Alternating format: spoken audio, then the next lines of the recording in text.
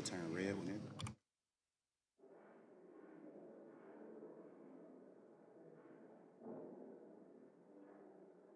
Just ready to hit that button.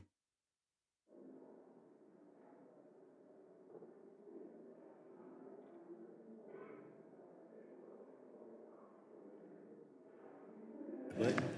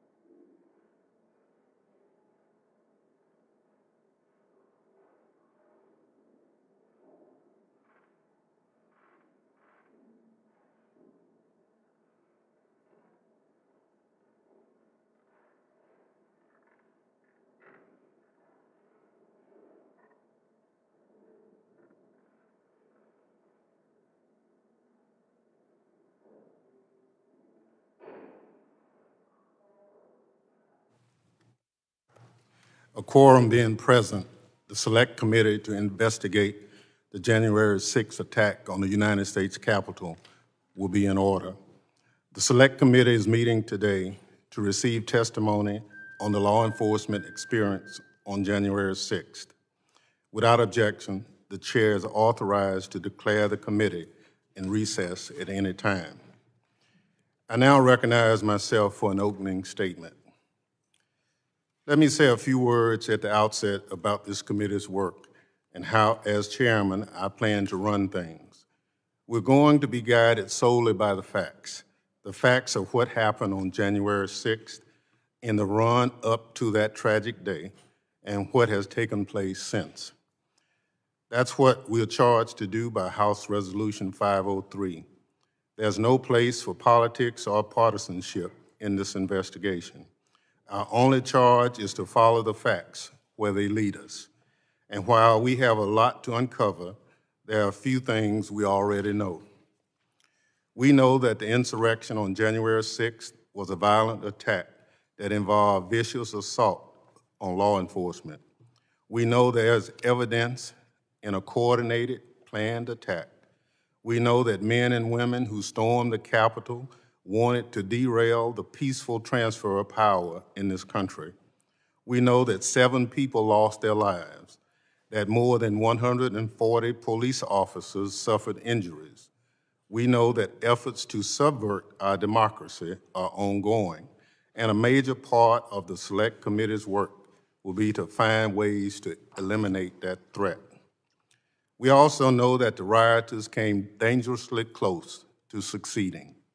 If not for the heroism of the United States Capitol Police and the Metropolitan Police Department, many more lives might have been lost, and the rioters could have accomplished what they set out to do, upend American democracy.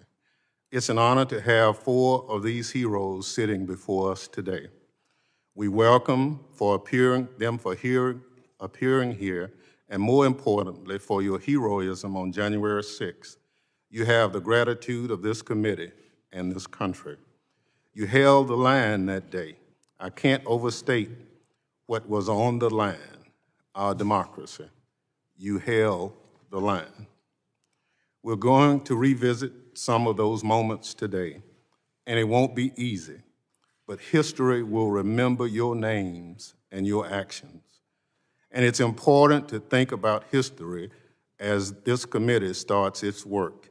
And as we hear from these courageous men and to get answers for the American people, because we need to understand our history if we want to understand the significance of what happened on January 6th and our role as members of the People's House. I'm talking about the peaceful transfer of power. 200 years ago, in 1801, the House of Representatives did one of its jobs laid out in the Constitution. After a deadlock in the Electoral College, this body cast 36 ballots and ultimately settled the contest for President of the United States. What followed was the first peaceful transfer of power in our country's history. We know that since then, our history has been far from perfect. We've been torn apart and brought back together. We've struggled across generations to make our country's great vision a reality for all Americans. We won victories and we've suffered failures. But the peaceful transfer of power has stood as the pillar of our democracy. It's one of those things we rely on, a safeguard that we hold close. Because as heated and angry and divided as we may be, whatever victories we celebrate or upheavals we endure, we can rest easy knowing that when the moment comes, our system guarantees that one party will hand the rings to another if that's the will of the people. And while our institutions endured, and while Joe Biden is the legitimately elected president of the United States, a peaceful transfer of power didn't happen this year. It did not happen. Let that sink in. Think about it. A violent mob was pointed toward the Capitol and told to win a trial by combat. Some depended, descended on this city with clear plans to disrupt our democracy. One rioter said that they weren't there to commit violence, but that, I'm quoting, we are just there to overthrow the government.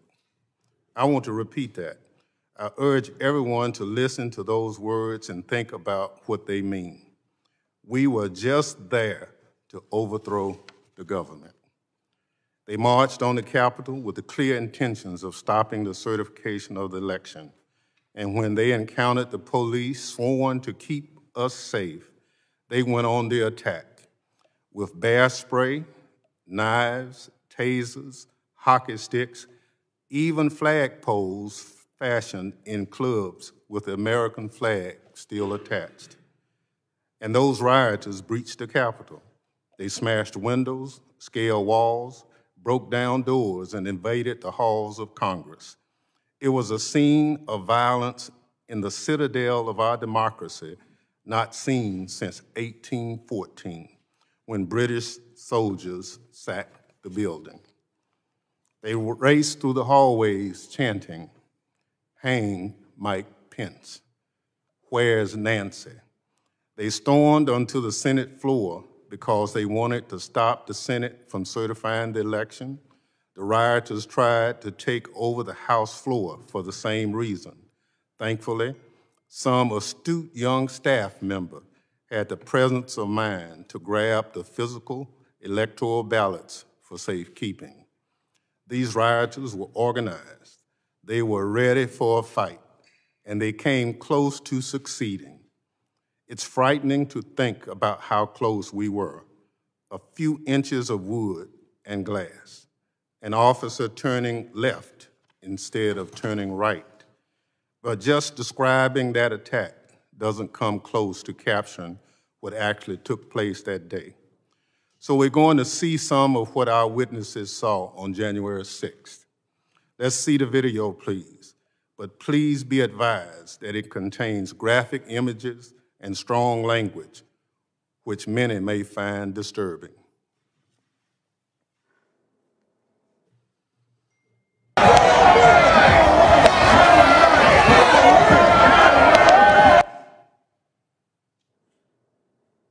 Hey, we're boots on the ground here. We're moving on to Capitol now. I'll give you a boots on the ground update here in a few. Multiple capital entries!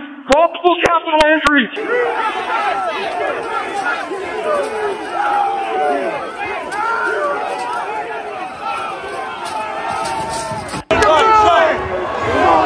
Take the building!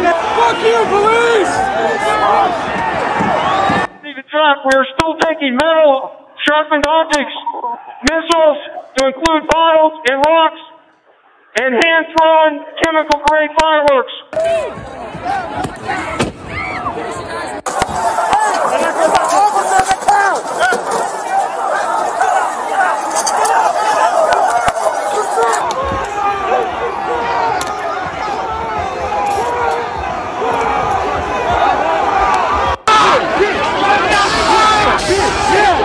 now effectively a riot.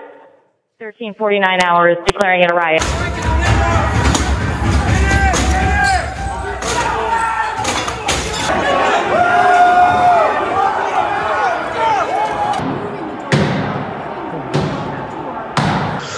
Okay, guys, um, apparently this tip of the spear has entered the Capitol building.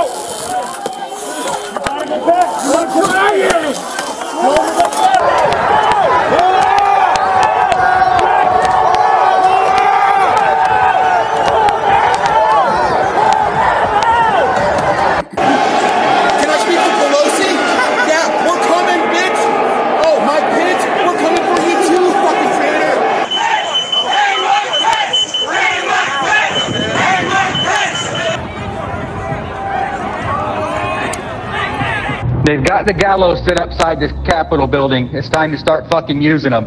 Start making a list, put all those names down, and we start hunting them down one by one. Traitors get guillotined! Mobilize in your own cities, your own counties, storm your own Capitol buildings, and take down every one of these corrupt motherfuckers. Some fucking need to have 30,000 guns up here. Next traitor.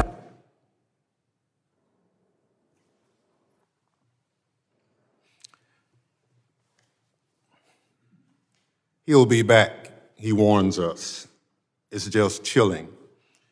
I thank God for our democracy and our republic withstood this assault. But that man's warning reminds us that this threat hasn't gone away. It looms over our democracy like a dark cloud. Some people are trying to deny what happened, to whitewash it, to turn the insurrectionists into martyrs. But the whole world saw the reality of what happened on January 6th. The hangman's gallows sitting, sti- sitting out there on our nation's mall. The flag of that first failed and disgraced rebellion against our union being paraded through the Capitol. The hatred, the bigotry, the violence. And all of it for a vile, vile lie. Let's be clear. The rioters who tried to rob us of our democracy were propelled here by a lie. As chairman of this committee, I will not give that lie any fertile ground. We need to understand how and why the big lie festered. We need to know minute by minute how January 6 unfolded.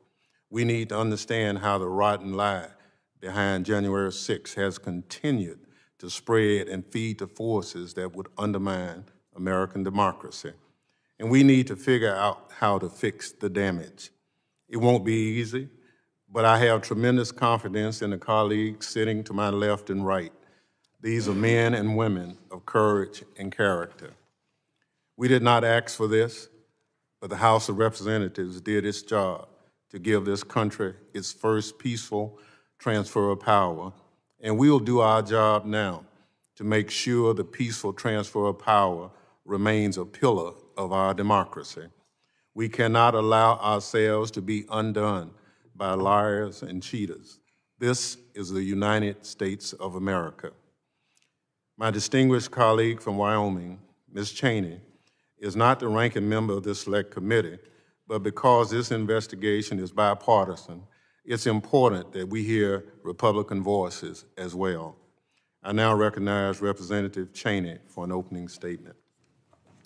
Thank you very much, Chairman Thompson. Uh, Thank you to all my colleagues on this committee, uh, and thank you to each of the witnesses appearing before us today. Um, It is, it is because of you, you held the line, you defended all of us, uh, you defended uh, the Capitol, um, and, uh, and you defended the Constitution and our republic, and, and every American owes you uh, our undying gratitude. Um, Every American, I hope, will be able to hear your testimony today uh, and will watch the videos. Uh, The videos show uh, the unbelievable violence uh, and the inexcusable and intolerable cruelty that, that you all faced, and people need to know the truth. I want to begin by reflecting briefly on the investigation that we're launching today.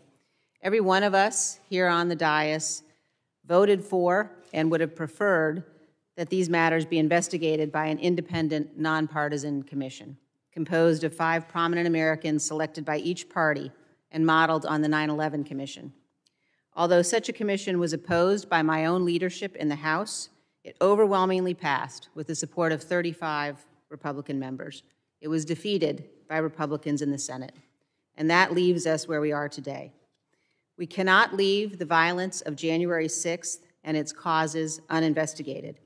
The American people deserve the full and open testimony of every person with knowledge of the planning and preparation for January 6th. We must know what happened here at the Capitol.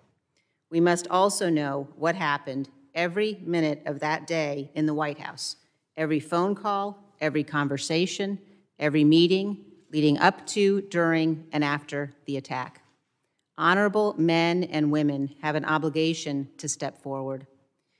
If those responsible are not held accountable, and if Congress does not act responsibly, this will remain a cancer on our constitutional republic, undermining the peaceful transfer of power at the heart of our democratic system. We will face the threat of more violence in the months to come and another January 6th every four years. I have been a conservative Republican since 1984 when I first voted for Ronald Reagan. I've disagreed sharply on policy and politics with almost every Democratic member of this committee. But in the end, we are one nation under God.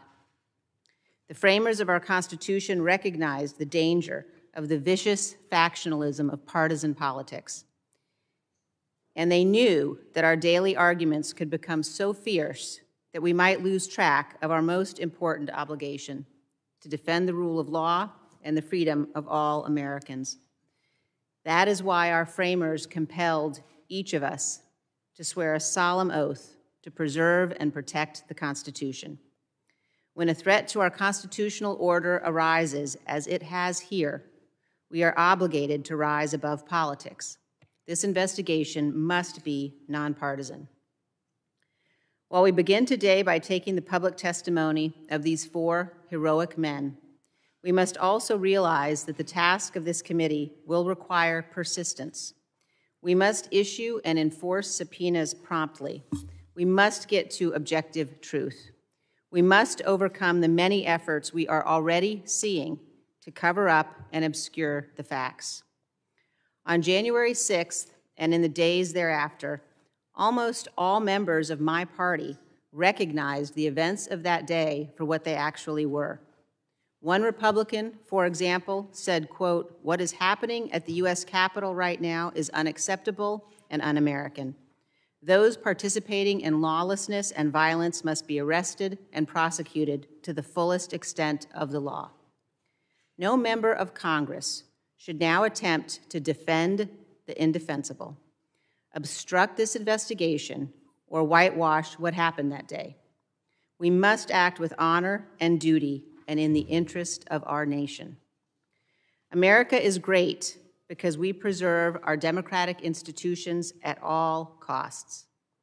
Until January 6th, we were proof positive for the world that a nation conceived in liberty could long endure. But now, January 6th threatens our most sacred legacy. The question for every one of us who serves in Congress, for every elected official across this great nation, indeed for every American, is this Will we adhere to the rule of law? Will we respect the rulings of our courts? Will we preserve the peaceful transition of power? Or will we be so blinded by partisanship that we throw away the miracle of America. Do we hate our political adversaries more than we love our country and revere our Constitution? I pray that that is not the case. I pray that we all remember our children are watching as we carry out this solemn and sacred duty entrusted to us. Our children will know who stood for truth, and they will inherit the nation we hand to them, a republic if we can keep it. Thank you, Mr. Chairman. I yield back. Thank you, Representative Cheney. I will now introduce our witnesses.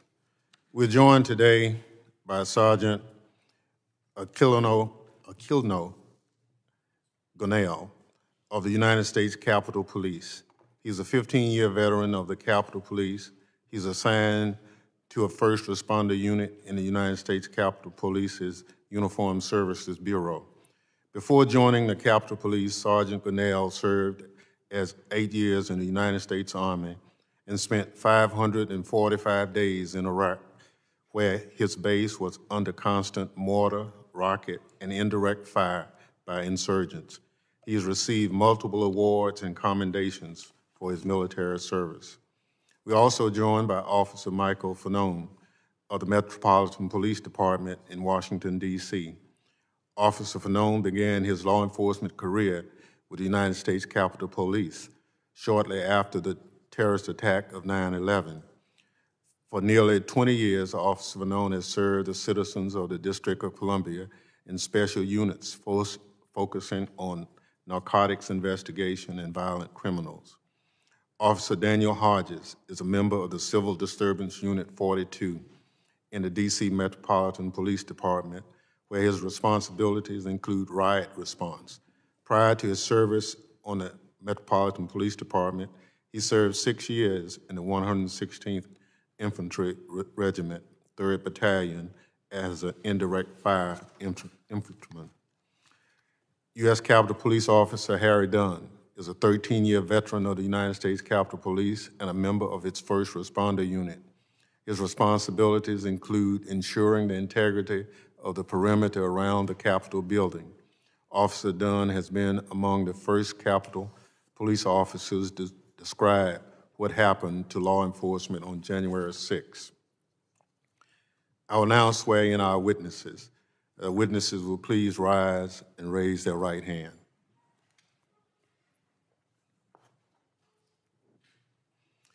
Do you swear or affirm that the testimony you are about to give is the truth, the whole truth, and nothing but the truth? So help you God. Thank you. You may be seated. Let the record reflect the witnesses answered in the affirmative. Without objection, the witness's full statement will be included in the record. I now recognize Sergeant Gonell to summarize his testimony. Good morning, everybody. Morning. Chairman Thompson, members, members of the Select Committee, Thank you for the opportunity to testify regarding the attack on the U.S. Capitol on January 6, 2021. It is with honor and heavy heart that I come before you to tell you my story from a painful firsthand experience of what happened that terrible day at the Capitol.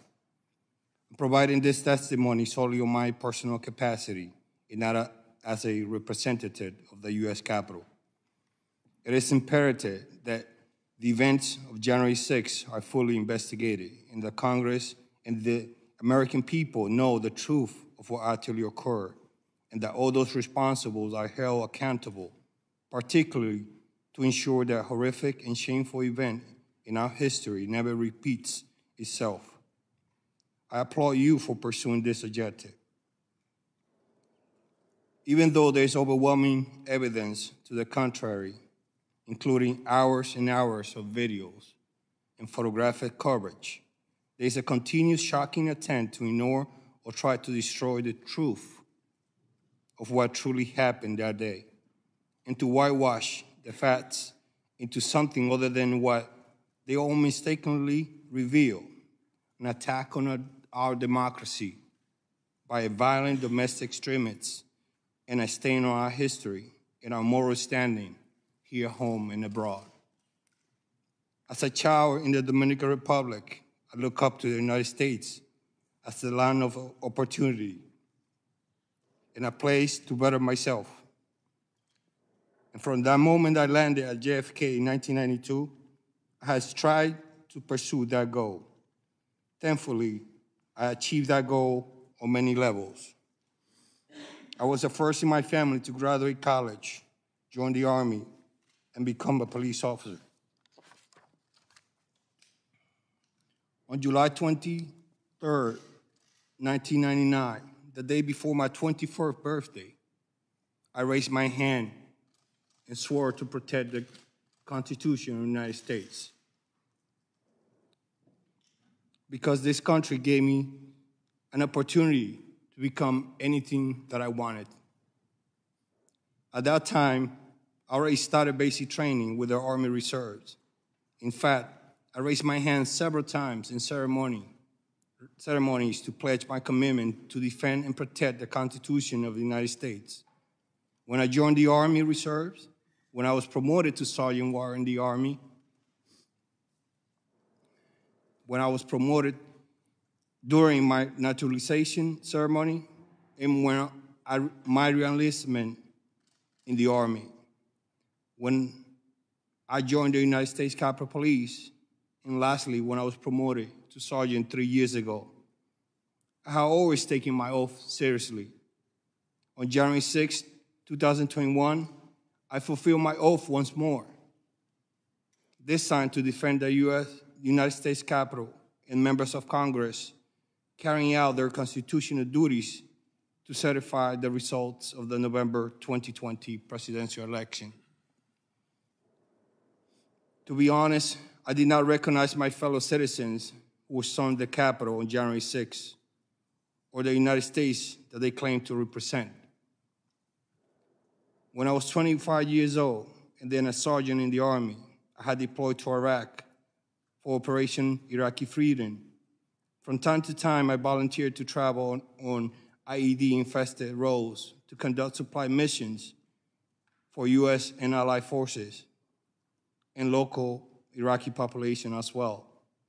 But on January 6, for the first time, I was more afraid to work at the capital than my entire deployment to Iraq.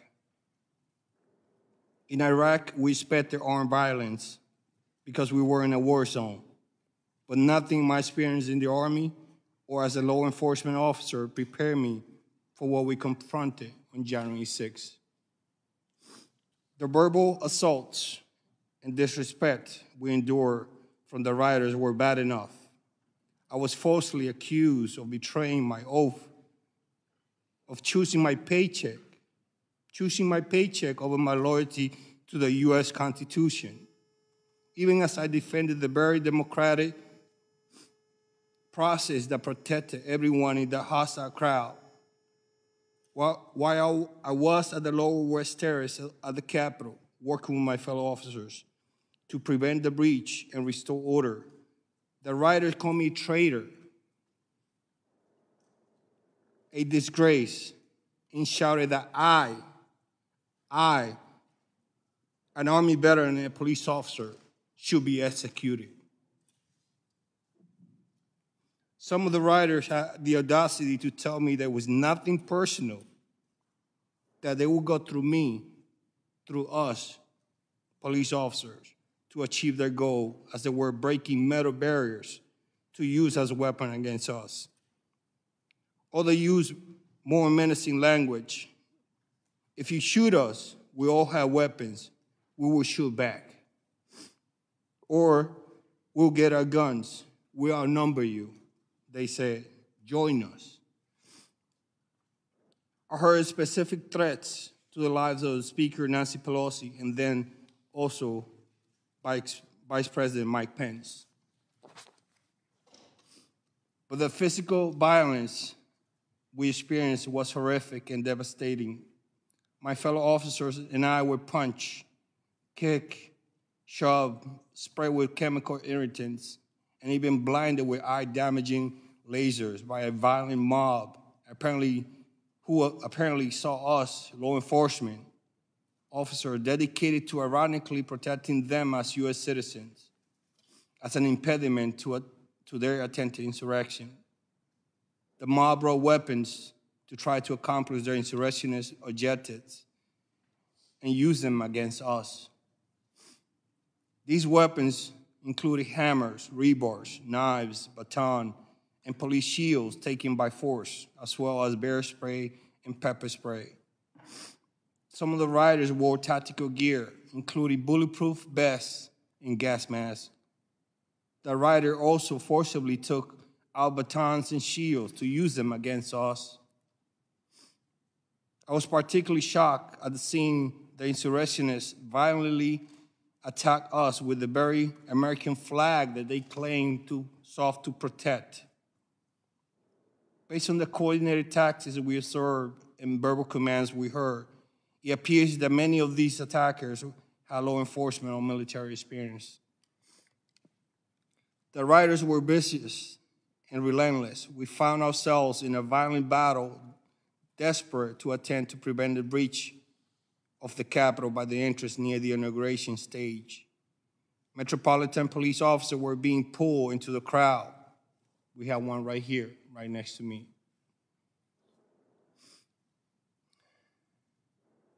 As we tried to push the riders back from the breach in the Capitol, in my attempt to assist two MPD officers, I grabbed one by the officer by the back of the collar and pulled him back to the police line.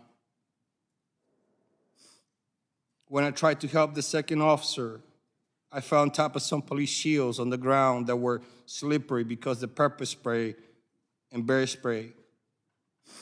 Riders immediately began to pull me by my leg, by my shield, by my gear strap on my left shoulder. My survivor's instincts kicked in, and I started kicking and punching as I tried in vain to get MPD officer attention behind and above me. But they could not help me because they also were being attacked. I finally was able to hit the rider who was grabbing me by, with my baton and able to stand. And then I continued to fend, fend off new attackers as they kept rotating and attacking us again and again. We were subjected, what we were subjected that day was like something from a medieval battle. We fought hand to hand, inch by inch, to prevent an invasion of the capital by a violent mob intent on subverting our democ- democratic process. My fellow officers and I were committed to not letting any rioters breach the Capitol. It was a prolonged and desperate struggle. The rioters attempted to breach the Capitol were shouting, Trump, send us. Pick the right side. We want Trump. I vividly heard officers screaming in agony and pain just an arm length from me. I didn't know at that time, but that was Officer Hodges, and he's here today to testify. I too was being crushed by the rioters. I could feel my, myself losing oxygen and recall thinking to myself, this is how I'm going to die, defending this entrance. Many of the officers fighting alongside me were calling for shields because their shields had been stripped from, from them by the rioters. I was one of the few officers left with a shield, so I spent the majority of my time in the, at the front of the line. I later find out that my wife and relatives were here in the US and abroad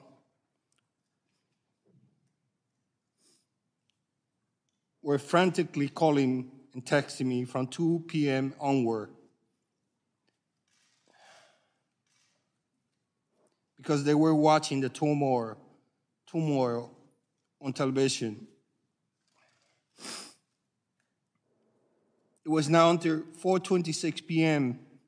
after giving CPR to one of the rioters who breached the Capitol in an effort to save her life that I finally had a chance to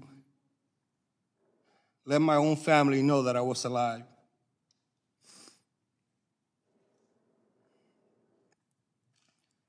After order, order has finally has been restored at the Capitol, in many hours, I arrived home at nearly 4 a.m. on January 7. I had to push my wife away from me because she wanted to hug me. And I told her no because of the other chemical that I my uniform had on.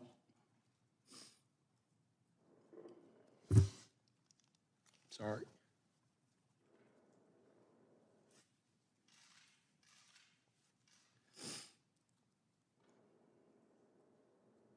I couldn't sleep because the chemical reactivated after I took a shower, and my skin, skin was burning. I finally fell asleep two hours later, completely physically and mentally exhausted.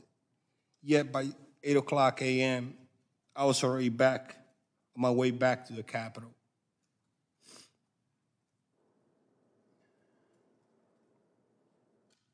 And I continued to work for 15 consecutive days until after the inauguration. I made sure to work despite, despite my injuries because I wanted to continue doing my job and help secure the Capitol complex. More than six months later, I'm still trying to recover from my injuries. Many of my fellow Capitol officers, as well as MPD officers, suffer terrible physical injuries from the violence inflicted on us on January 6. I sustained injuries on both my hands, my left shoulder, my left calf, and my right foot. I already had undergone bone fusion surgery on my right foot, and I was just told that I need surgery on my left shoulder. I have been on medical and I'm in administrative leave for much of, my, of the past six months, and I expect to need further rehabilitation for possibly more than a year.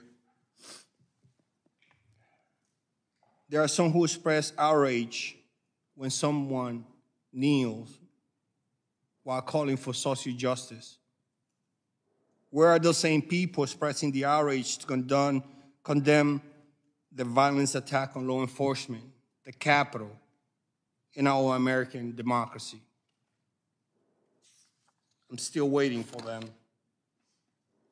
As America in the, wa- in the world watching horror what was happening at the Capitol, we did not receive re- timely reinforcement and support we needed. In contrast, during the Black Lives Matter protests last year, U.S. Capitol Police had all the support we needed and more. Why, was, why the different response? Were it not for the brave members of the MPD and later on from other law enforcement agencies, I'm afraid to think what could have happened on January 6th. I want to publicly thank all the law enforcement agencies that, res- that responded to assist that day for their courage and their support. I especially want to thank the, those Capitol Police officers who responded on their own from home after a working midnight shift. Despite being outnumbered, we did our job. Every member of the, of the House of Representatives, senators, and staff member made it home. Sadly, as a result of that day, we lost officers, some really good officers. But we held the line to protect our democratic process because the alternative would have been a disaster. We are not asking for medals or recognition. We simply want justice and accountability. For most people, January 6 happened for a few hours. But for, but for, us, for those of us who work, were in the thick of it, it has not ended. That day continued to be a constant trauma for us literally every day whether because of our physical or emotional injuries or both. While it has not received much attention, sadly, Many of my colleagues have quietly resigned from the Capitol because of that day. I'm also regularly called by law enforcement officials and prosecutors to help identify from photographs and videos the rioters. And to be honest, physical therapy is painful and hard. I could, I could have lost my life that day, not once, but many times. But as soon as I recover from my injuries, I will continue forward and proudly serve my country in the U.S. Capitol Police. As an immigrant to the United States, I'm especially proud to have defended the U.S. Constitution and our democ- democracy on January 6. I hope that everyone in the position of authority in, in our country has the courage and conviction to do their part by investigating what happened on that terrible day and why. This investigation is essential to our democracy, and I'm deeply grateful to you for undertaking it. I'm happy to assist as I can and answer any question you may have to the best of my ability. Thank you. Thank you very much for your riveting uh, testimony, Sergeant Gonell. I now recognize Officer Fanone to summarize his testimony.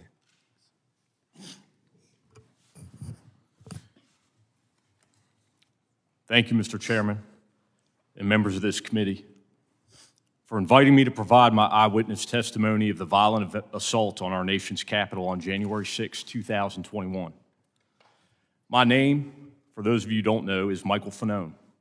And while I've been a sworn officer with the Metropolitan Police Department in Washington, D.C. for almost two decades, my law enforcement career actually began here in this building as a United States Capitol Police officer shortly after 9 11 in part because of the 2001 attack on our country by terrorists, I felt called to serve. As a Capitol Police officer, I was proud to protect this institution and dedicated members of Congress and their staff who work hard each day to uphold our American democracy. I remain proud of the work of the United States Capitol Police and MPD officers who literally commit their lives to protecting the safety of each of you and all of us in this room in our nation's capital. After leaving the United States Capitol Police, I became an MPD officer serving the residents of Washington, D.C.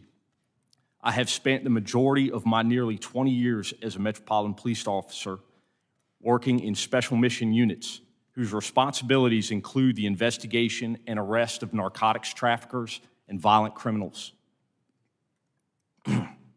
I've worked both as an undercover officer and a lead case officer in many of these investigations. In this line of work, it probably won't shock you to know that I've dealt with some dicey situations. I thought I had seen it all, many times over. Yet, what I witnessed and experienced on January 6, 2021, was unlike anything I had ever seen, anything I had ever experienced or could have imagined in my country. On that day, I participated in the defense of the United States Capitol from an armed mob, an armed mob of thousands determined to get inside.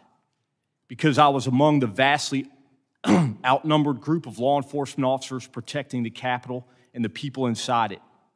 I was grabbed, beaten, tased, all while being called a traitor to my country.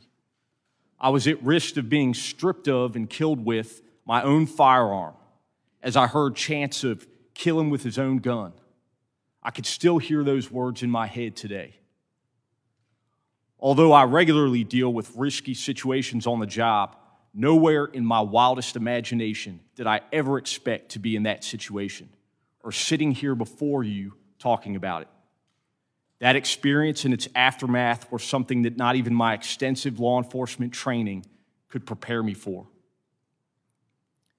I was just one of hundreds of local police who lined up to protect Congress, even though I had not been assigned to do that. Some had asked why we ran to help when we didn't have to. I did that because I simply could not ignore what was happening. Like many other officers, I could not ignore the numerous calls, numerous calls for help coming from the Capitol complex. I'm a plainclothes officer assigned to the 1st District's crime suppression team. But for the first time in nearly a decade, I put on my uniform.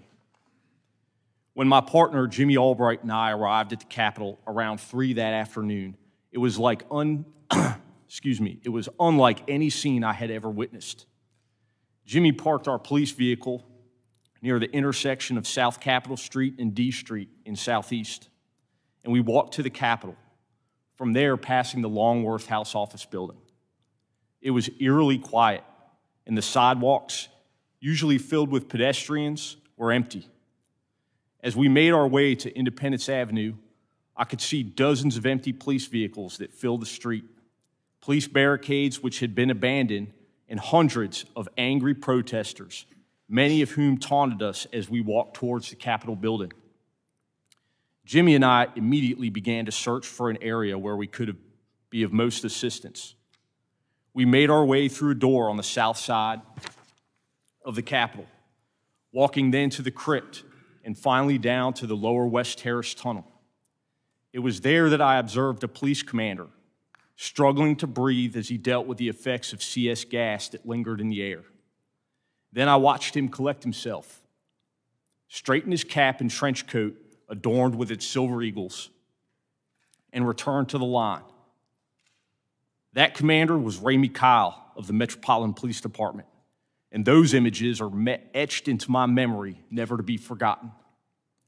In the midst of that intense and chaotic scene, Commander Kyle remained cool, calm, and collected as he gave commands to his officers.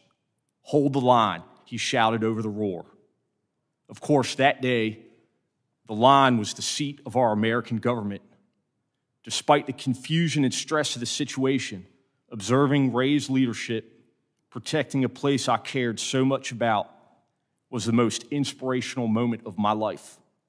The bravery he and others showed that day are the best examples of duty, honor, and service. Each of us who carries a badge should bring those core values to our work every day. The fighting in the lower West Terrace tunnel was nothing short of brutal. Here I observed approximately 30 police officers standing shoulder to shoulder, maybe four or five abreast, using the weight of their bodies to hold back the onslaught of violent attackers. Many of these officers were injured, bleeding, and fatigued, but they continued to hold the line. As I don't have to tell the members in this room, the tunnel is a narrow and long hallway. It is not the sort of space anyone would want to be pulled into hand to hand combat with an angry mob. Although the narrowness of the hallway provided what was probably the only chance of holding back the crowd from entering your personal offices, the House, and Senate chambers. In an attempt to assist injured officers, Jimmy and I asked them if they needed a break there were no volunteers. Selflessly, those officers only identified other colleagues who may be in need of assistance. The fighting dragged on. I eventually joined the tactical line at the tunnel's entrance. I can remember, remember looking around and being shocked by the sheer number of people fighting us.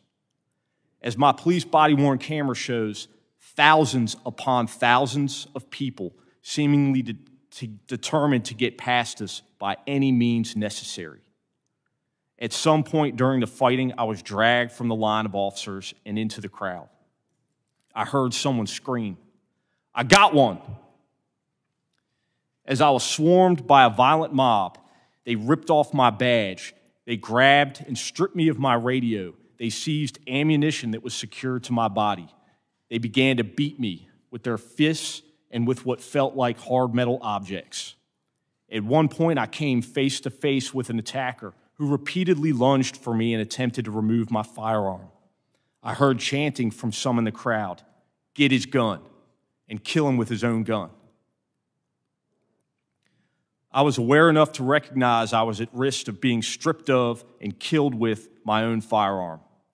I was electrocuted again and again and again with a taser. I'm sure I was screaming, but I don't think I could even hear my own voice. My body camera captured the violence of the crowd directed toward me during those very frightening moments. It's an important part of the record for this committee's investigation and for the country's understanding of how I was assaulted and nearly killed as the mob attacked the Capitol that day. And I hope that everyone will be able to watch it. The portions of the video I've seen remain extremely painful for me to watch at times, but it is essential that everyone understands what really happened that tragic day. During those moments, I remember thinking there was a very good chance I would be torn apart or shot to death with my own weapon. I thought of my four daughters who might lose their dad. I remain grateful that no member of Congress had to go through the violent assault that I experienced that day. During the assault, I thought about using my firearm on my attackers, but I knew that if I did, I would be quickly overwhelmed. And that, in their minds, would provide them with the justification for killing me. So I instead decided to appeal to the, any humanity they might have. I said as loud as I could manage, I've got kids. Thankfully, some in the crowd stepped in and assisted me. Those few individuals protected me from a crowd and inched me toward the Capitol until my fellow officers could rescue me. I was carried back inside. What happened afterwards is much less vivid. I had been beaten unconscious and remained so for more than four minutes. I know that Jimmy helped to evacuate me from the building and drove me to MedStar Washington Hospital Center, despite suffering significant injuries himself. At the hospital, doctors told me that I had suffered a heart attack, and I was later diagnosed with a concussion, a traumatic brain injury, and post traumatic stress disorder. As my physical injuries gradually subsided and the adrenaline that had stayed with me for weeks waned, I've been left with the psychological trauma and the emotional anxiety of having survived such a horrific event. And my children continue to deal with the trauma of nearly losing their dad that day. What makes the struggle harder and more painful is to know so many of my fellow citizens, including so many of the people I put my life at risk to defend, are downplaying or outright denying what happened. I feel like I went to hell and back to protect them and the people in this room. But too many are now telling me that hell doesn't exist or that hell actually wasn't that bad. The indifference shown to my colleagues is disgraceful. My law enforcement career prepared me to cope with some of the aspects of this experience. Being an officer, you know your life is at risk whenever you walk out the door, even if you don't expect otherwise law abiding citizens to take up arms against you. But nothing, truly nothing, has prepared me to address those elected members of our government who continue to deny the events of that day. And in doing so, betray their oath of office. Those very members whose lives, offices, staff members I was fighting so desperately to defend. I agreed to speak here today and have talked publicly about what happened because I don't think our response to the insurrection should have anything to do with political parties. I know that what my partner Jimmy and I suited up for on January 6th didn't have anything to do with political parties or about politics or what political party any of you public servants belong to. I've worked in this city for two decades, and I've never cared about those things, no matter who was in office. All I've ever cared about is protecting you and the public. So you can do your job in service to this country and for those whom you represent. I appreciate your time and attention. I look forward to the committee's investigation, and I am hopeful with your commitment we as a country will confront the truth of what happened on January 6th and do what is necessary to make sure this institution of our democracy never falls into the hands of a violent and angry mob. We must also recognize the officers who responded that day, many unsolicited, and their countless acts of bravery and selflessness. It has been 202 days since 850 MPD officers responded to the Capitol and help stop a violent insurrection from taking over this Capitol complex, which almost certainly saved countless members of Congress and their staff from injury and possibly death. The time to fully recognize these officers is now. Thank you again for the opportunity to provide my testimony here today. Thank you very much for your testimony, and I don't think there's any question you have our commitment that we will do just that as, as a committee. Thank you, Uh, sir. I now recognize Officer Hodges to summarize his testimony. Good morning to the committee, members of the press, and to the country. To the members of the committee, I'd like to thank you for your invitation today to provide my account of my knowledge and experiences from January 6th, 2021. As the chairman mentioned, I'm a member of Civil Disturbance Unit 42 and is working in that capacity on the day in question.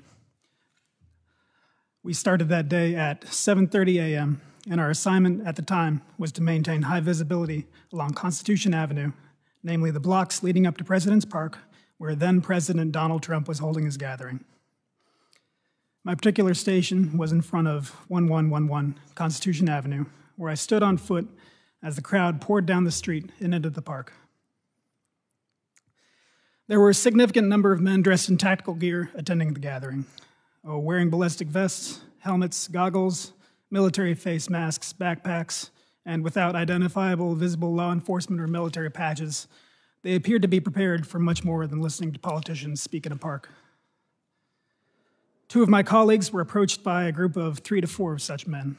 They were uh, white men in good shape with load bearing vests equipped with MOLLE pouches. They were wearing BDUs or battle dress uniform pants, tactical boots, black sunglasses, and short haircuts. They had radios, and one was equipped with an earpiece. After a bit of small talk, one of them asked my colleague something to the effect of Is this all the manpower you have? Do you really think you're going to be able to stop all these people? Dumbfounded, my colleague simply expressed they didn't understand what the speaker meant, and the group continued on. As the day went on and speakers in the park said their piece, I monitored the crowd on the radio. Over the radio, I heard our gun recovery unit working constantly, monitoring those in the crowd suspected of carrying firearms and making arrests and seizures when possible. Multiple gun arrests were made from January 5th through the 7th against those attending and likely had attended or planned to attend Donald Trump's gathering. Unfortunately, due to the course of events that day, we will never know exactly how many were carrying firearms and other lethal weapons. I don't know what time it was, but eventually the flow of the foot traffic reversed, with people leaving President's Park and traveling eastbound down Constitution Avenue towards the United States Capitol. At approximately 12:30 p.m., I noticed a commotion about half a block to my east. And I saw the crowd starting to coalesce around two figures. I ran to where they were and found a confrontation at the intersection of 10th and Constitution Avenue Northwest. One counter protester, a black man, was backpedaling away from a white man in a Trump labeled face mask who was closely following him with an outstretched arm. Myself and my colleague first arrived and physically separated the two, but a crowd of Donald Trump's people had gathered. They attempted to bait the counter protester into attacking, shouting insults such as, Your mother's a whore, and accusing him of hiding behind the cops. Eventually, enough MPD members had gathered to move along the crowd, who continued eastbound toward the Capitol building, and the counter protester departed northbound on 10th Street. Returning to my post, I continued to monitor the radio. I could hear Commander Glover leading the defense efforts at the Capitol as the protesters began their transition from peaceful assembly into terrorism. I became agitated and wished we could move in to support as I could hear the increasing desperation in the commander's voice. Yet we still had to wait for our orders to change. And eventually they did. At approximately 1:30 p.m., the commander authorized rapid response platoons to deploy their hard gear and respond to the Capitol, including CDU 42. The last thing I remember hearing over the air before departing for the Capitol grounds was confirmation that our explosive ordnance disposal team had discovered a device. Given which unit was being associated with the device, I immediately realized MPD had discovered a bomb of some type near the Capitol. This thought was never far from my mind for the rest of the day. We ran back to our vans and got on our hard gear as quickly as we could. Navigating alternate routes to, the, to avoid the foot traffic, we drove as close as we could to the Capitol, disembarking at the northwest side of the Capitol grounds. We gave our gear a final check and marched towards the West Terrace. The crowd was thinner the further out from the Capitol you were. So as we marched, the resistance that we initially met was verbal. A man sarcastically yelled, Here come the boys in blue, so brave. Another called on us to remember your oath. There was plenty of booing. Uh, a woman called us stormtroopers. Another woman, who was part of the mob of terrorists laying siege to the capital of the United States, shouted traitors. More found appeal in this label and shouted traitors at us as we passed. One man attempted to turn it into a duosyllabic chant. Uh, we continued to march. We had been marching in two columns, but as we got closer to the West Terrace, the crowd became so dense that in order to progress, we marched single file with our hands on the shoulders of the man in front of us in order to avoid separation. However, as we came close to the terrace, our line was divided and we came under attack. A man attempted to rip the baton from my hands, and we wrestled for control. I retained my weapon after I pushed him back. He yelled at me, You're on the wrong team. Cut off from our leadership, which was at the front of our formation, we huddled up and assessed the threats surrounding us. One man tried and failed to build a rapport with me, shouting, Are you my brother? Another takes a different tack, shouting, You will die on your knees. I was at the front of our group and determined we had to push our way through the crowd in order to join the defense proper. So I began shouting, Make way! as I forged ahead, hoping that I'm clearing a path for others behind me to follow. However, as I looked back, I saw that the rest of the group came under attack and were unable to follow. The crowd attempted to physically bar the rest of the platoon from following. I backtracked and started pulling the terrorists off my team from their backpacks and their collars. Around this time, one of the terrorists who had scaled the scaffolding that adorned the Capitol at the time threw something heavy down at me and struck me in the head, disorienting me. I suspect this resulted in the likely concussion I dealt with in the weeks after. Another man attempted to disarm me of my baton, and again, we wrestled for control. He kicked me in my chest as we went to the ground. I was able to retain my baton again, but I ended up on my hands and knees and blind. The medical mask I was wearing at the time to protect myself from the coronavirus was pulled up over my eyes so I couldn't see. I braced myself against the impact of their blows and feared the worst. Thankfully, my platoon had repelled their own attackers and got me back on my feet. The crowd started chanting USA at us, and we struck out again for the West Terrace. I led the charge through the midst of crowd control munitions, explosions, and smoke engulfing the area. Terrorists were breaking apart the metal fencing and bike racks into individual pieces, presumably to use as weapons. Thankfully, we made it to the secondary defense line on the West Terrace that MPD and Capitol Police were managing to hold. The rest of my platoon got behind the line, and we could take stock of the situation. I realized that back during the previous assault, someone had stolen my radio. From that point on, I was in the dark as to our current status, when reinforcements would arrive. Terrorists were scaling the scaffolding on both our sides, the tower that was in front of us, and attempting to breach the waist high metal fencing that was the only barrier we had aside from ourselves. The sea of people was punctuated throughout by flags, mostly variations of American flags and Trump flags. There was Gadsden flags. It was clear the terrorists perceived themselves to be Christians. I saw the Christian flag directly to my front. Another read, Jesus is my Savior, Trump is my president. Another, Jesus is King. One flag read, Don't give up the ship. Another had crossed rifles beneath the skull, emblazoned with the pattern of the American flag.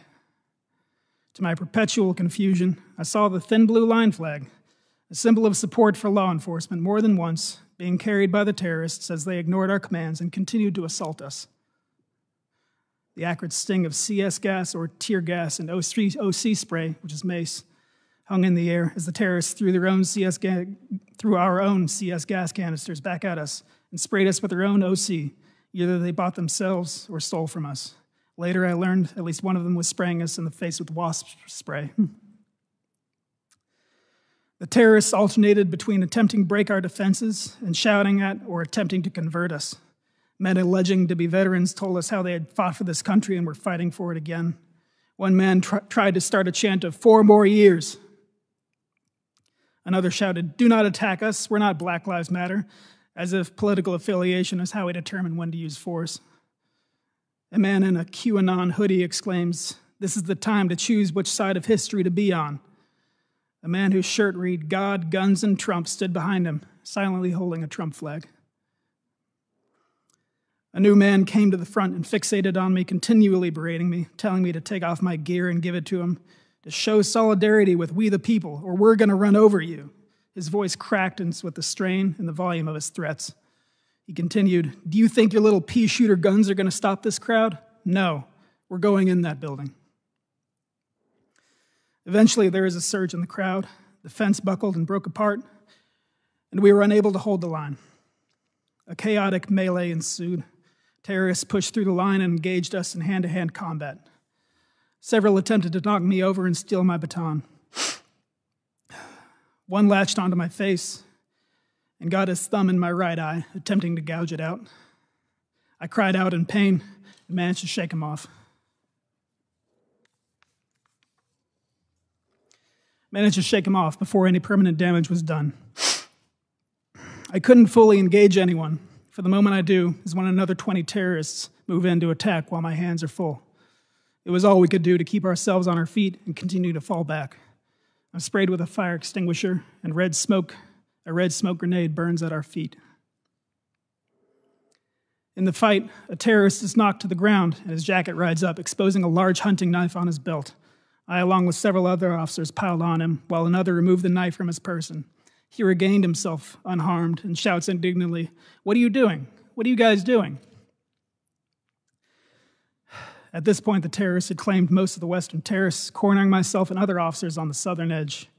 We found a side stair off of the terrace up to an upper landing, followed by more stairs up and inside.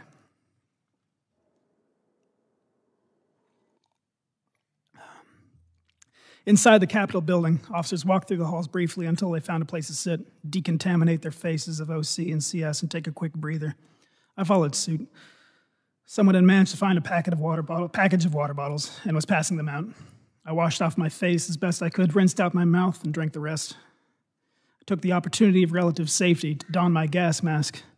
Not long afterward, I heard someone calling for officers to move to assist. I steeled myself for another round and descended a stairway into a long hallway filled with smoke and screams. The Capitol building is labyrinthine, but judging from the sound of intense combat, I could tell this hallway led outside to where the terrorists had forced our retreat. Officers were stacked deep, but every so often one would fall back from the front line, nursing an injury or struggling to breathe, and those who remained would take a step forward. It was a battle of inches, with one side pushing the other a few, and then the other side regaining their ground. At the time, I, and I suspect many others in the hallway, did not know that the terrorists had gained entry into the building by breaking in doors and windows elsewhere, so we believed ours to be the last line of defense before the terrorists had true access to the building and potentially our elected representatives. Eventually, it was my turn in the meat grinder that was the front line. The terrorists had a wall of shields that they had stolen from officers, as well as stolen batons, what other armaments they brought. Even during this intense contest of wills, they tried to convert us to their cult. One man shouted, We all just want to make our voices heard, and I think you feel the same. I really think you feel the same. All while another man attempts to batter us with a stolen shield. Another man, like many others, didn't seem to appreciate that this wasn't a game. He fought his way across the lawn, up the steps, through the western terrace, all the OC and CS gas, and at the front line of this final threshold was asking us to hold on because he has asthma. The two sides were at a stalemate at a metal door frame that sat in the middle of the hallway. At the front line, I inserted myself so the frame was at my back in an effort to give myself something to brace against and provide additional strength, strength when pushing forward. Unfortunately, soon after I secured this position, the momentum shifted and we lost the ground that got me there.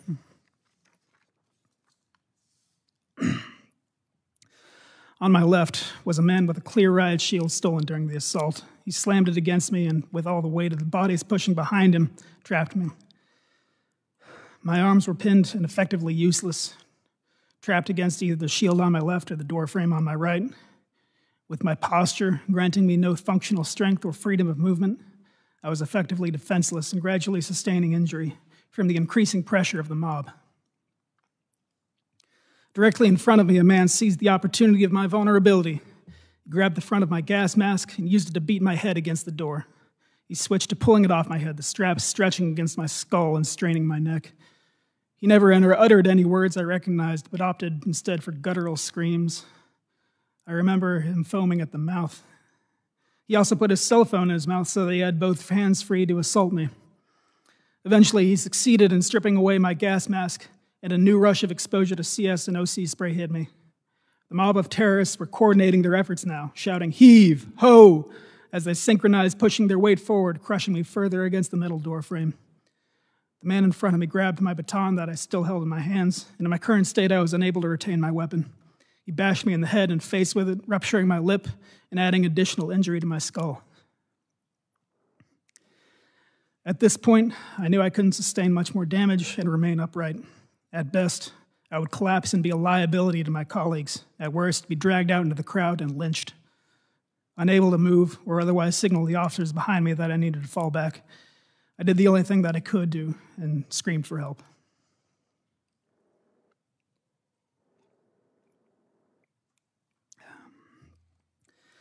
Thankfully, my voice was heard over the cacophony of yells and the blaring alarm. The officer closest to me was able to extricate me from my position, and another helped me fall back to the building again. I had found some more water and decontaminated my face as best I could. I don't know how long I waited in the halls for, but soon after I got back on my feet and went to the where the fight was again. Until reinforcements arrived, every able body made a difference. Without my gas mask, I was afraid I'd be a liability in the hallway, so I took the exit outside of the upper landing above the west terrace. I found a police line being held and the terrace encircling us, much like on the west terrace lower. It was getting later in the day, however, and it appeared we weren't the only ones getting tired. It seemed most of the mob was content to yell rather than try and break our line again. After some time of guarding the upper landing, I saw reinforcements arrive from the south. I'm not sure which law enforcement agency it was, but I turned to them and I started clapping, as it was a sign that badly, help, badly needed help was starting to finally arrive. Soon after that, I started feeling the effects of the day taking their toll and went back inside to rest. Gradually, all the members of CDU 42 gathered in the room known as the Capitol Crypt. We checked on each other and convalesced, glad to see each other in one piece. Despite our exhaustion, we would have ran out into the fight again should the need have arisen. Thankfully, as the day wore on, more and more resources had arrived at the Capitol to drive off the terrorists. We stayed in the crypt until quite late. And even after we were allowed to leave the grounds, we didn't get to go home.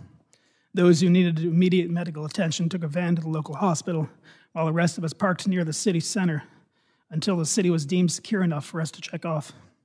I believe we finally got that message around 1 a.m. the following morning. We drove back to the 4th District and from there went home. Thank you for letting me testify. Thank you very much uh, for your testimony. I now recognize Officer Dunn to summarize his testimony.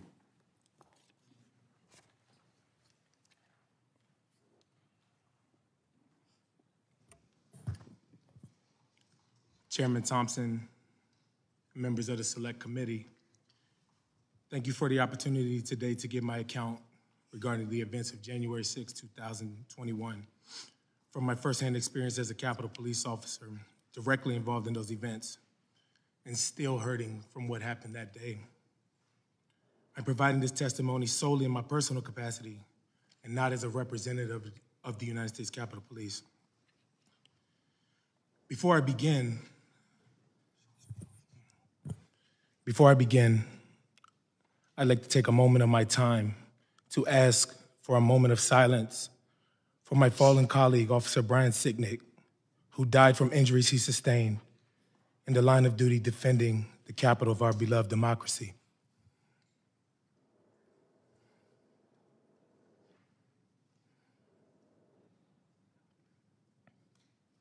Thank you. I reported for duty at the Capitol as usual early on the morning of January 6th. We understood that the vote to certify President Biden's election would be taking place that day, and protests might occur outside the Capitol. But we expected any demonstrations to be peaceful expressions of First Amendment freedoms, just like the scores of demonstrations we had, we had observed for many years. After roll call, I took my overwatch post on the east front of the Capitol, standing on the steps that led up to the Senate chamber. As the morning progressed, I did not see or hear anything that gave me cause for alarm. But around 10:56 a.m., I received a text message from a friend forwarding a screenshot of what appeared to be the potential plan of action, very different from a peaceful demonstration. The screenshot bore the caption, January 6, Rally Point, Lincoln Park, and said the objective was the Capitol. It said, amongst other things, that Trump has given us marching orders and to keep your guns hidden. It urged people to bring your trauma kits and gas mask to link up early in the day in six to 12 man teams. It indicated there would be time to arm up. Seeing that message caused me concern. To be sure, looking back now, it seemed to foreshadow what happened later. At the time, though, we had not received any threat warnings from our chain of command. I had no independent reason to believe that violence was headed our way.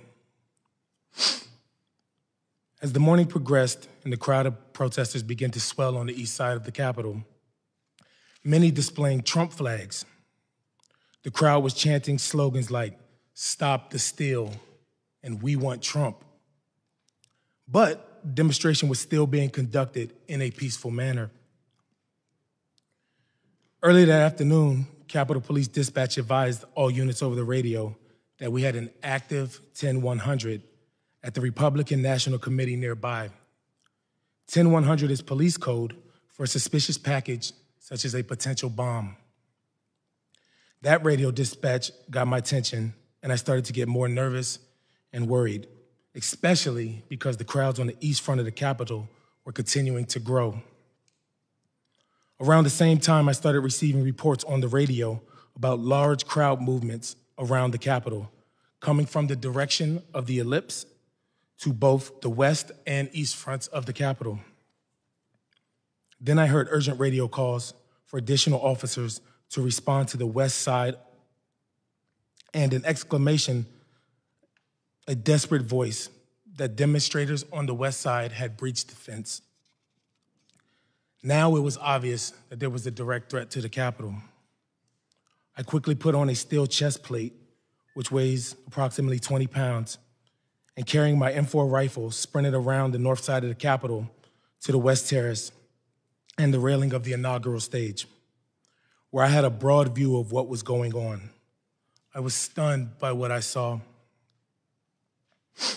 In what seemed like a sea of people, Capitol police officers and Metropolitan Police officers, MPD, were engaged in desperate hand to hand fighting with rioters across the West Lawn.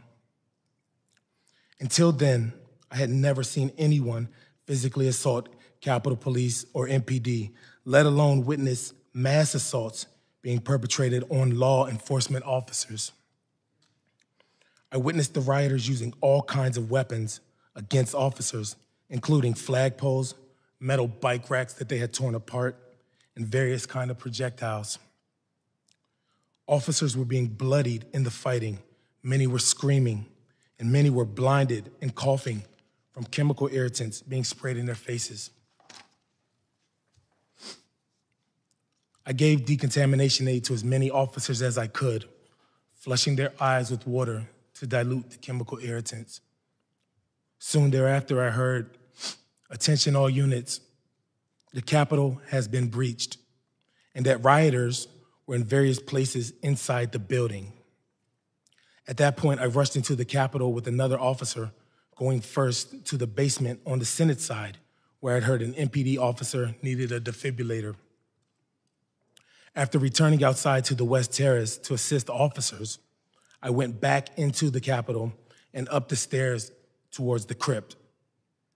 There I saw rioters who had invaded the Capitol carrying a Confederate flag, a red MAGA flag, and a Don't Tread on Me flag. I decided to stand my ground there to prevent any rioters from heading down the stairs to the Lower West Terrace entrance, because that's where officers were getting decontamination aid and were, and were particularly vulnerable. At the top of the stairs, I confronted a group of insurrectionists, warning them do not go back, go down those steps. One of them shouted, Keep moving, patriots. Another displayed what looked like a law enforcement badge and told me, We're doing this for you. One of the invaders approached me like he was going to try to get past me and head down the stairs. I hit him, knocking him down.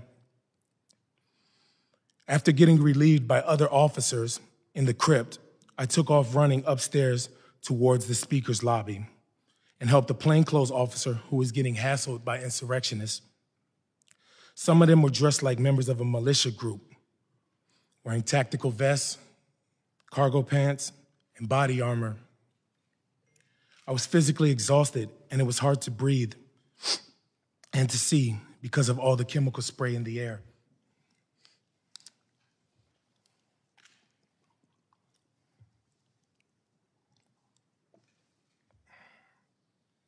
More and more insurrectionists were pouring into the area by the speaker's lobby near the rotunda, and some wearing MAGA hats and shirts that said Trump 2020.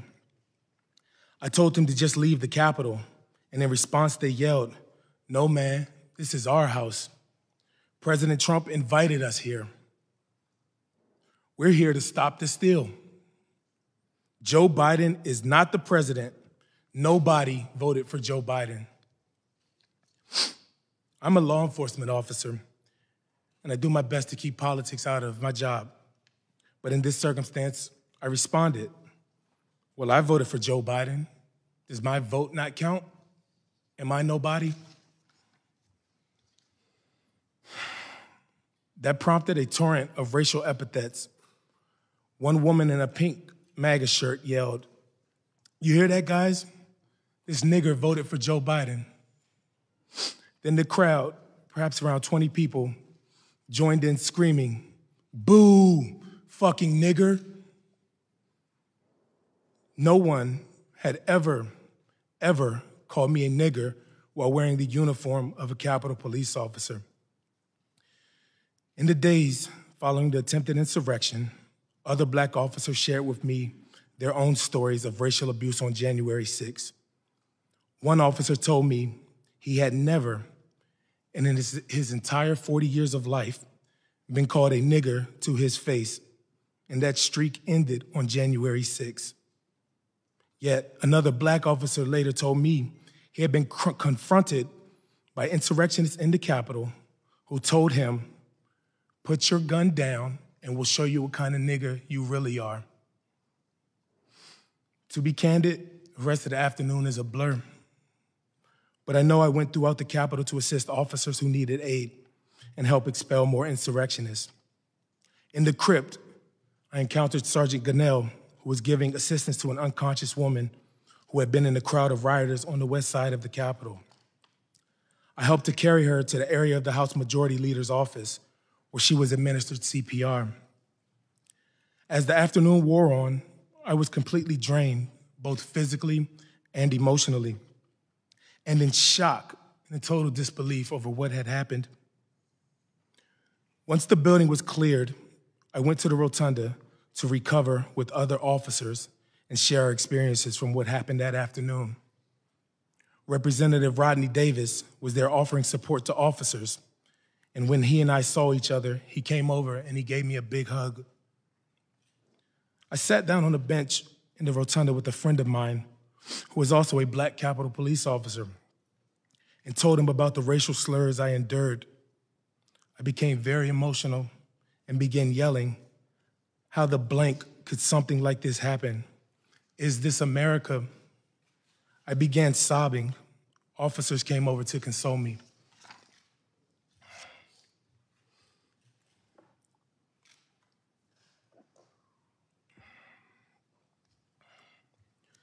Later on January 6, after order and security had been restored in the Capitol through the hard work and sacrifices of law enforcement,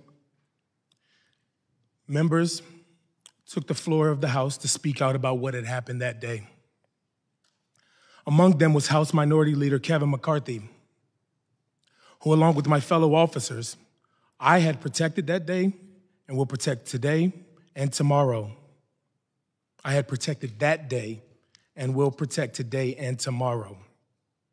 And the minority leader, to his great credit, said the following to the House The violence, destruction, and chaos we saw earlier was unacceptable, undemocratic, and un American. It was the saddest day I've ever had serving in this institution. End quote. Members of the select committee, the minority leader was absolutely right.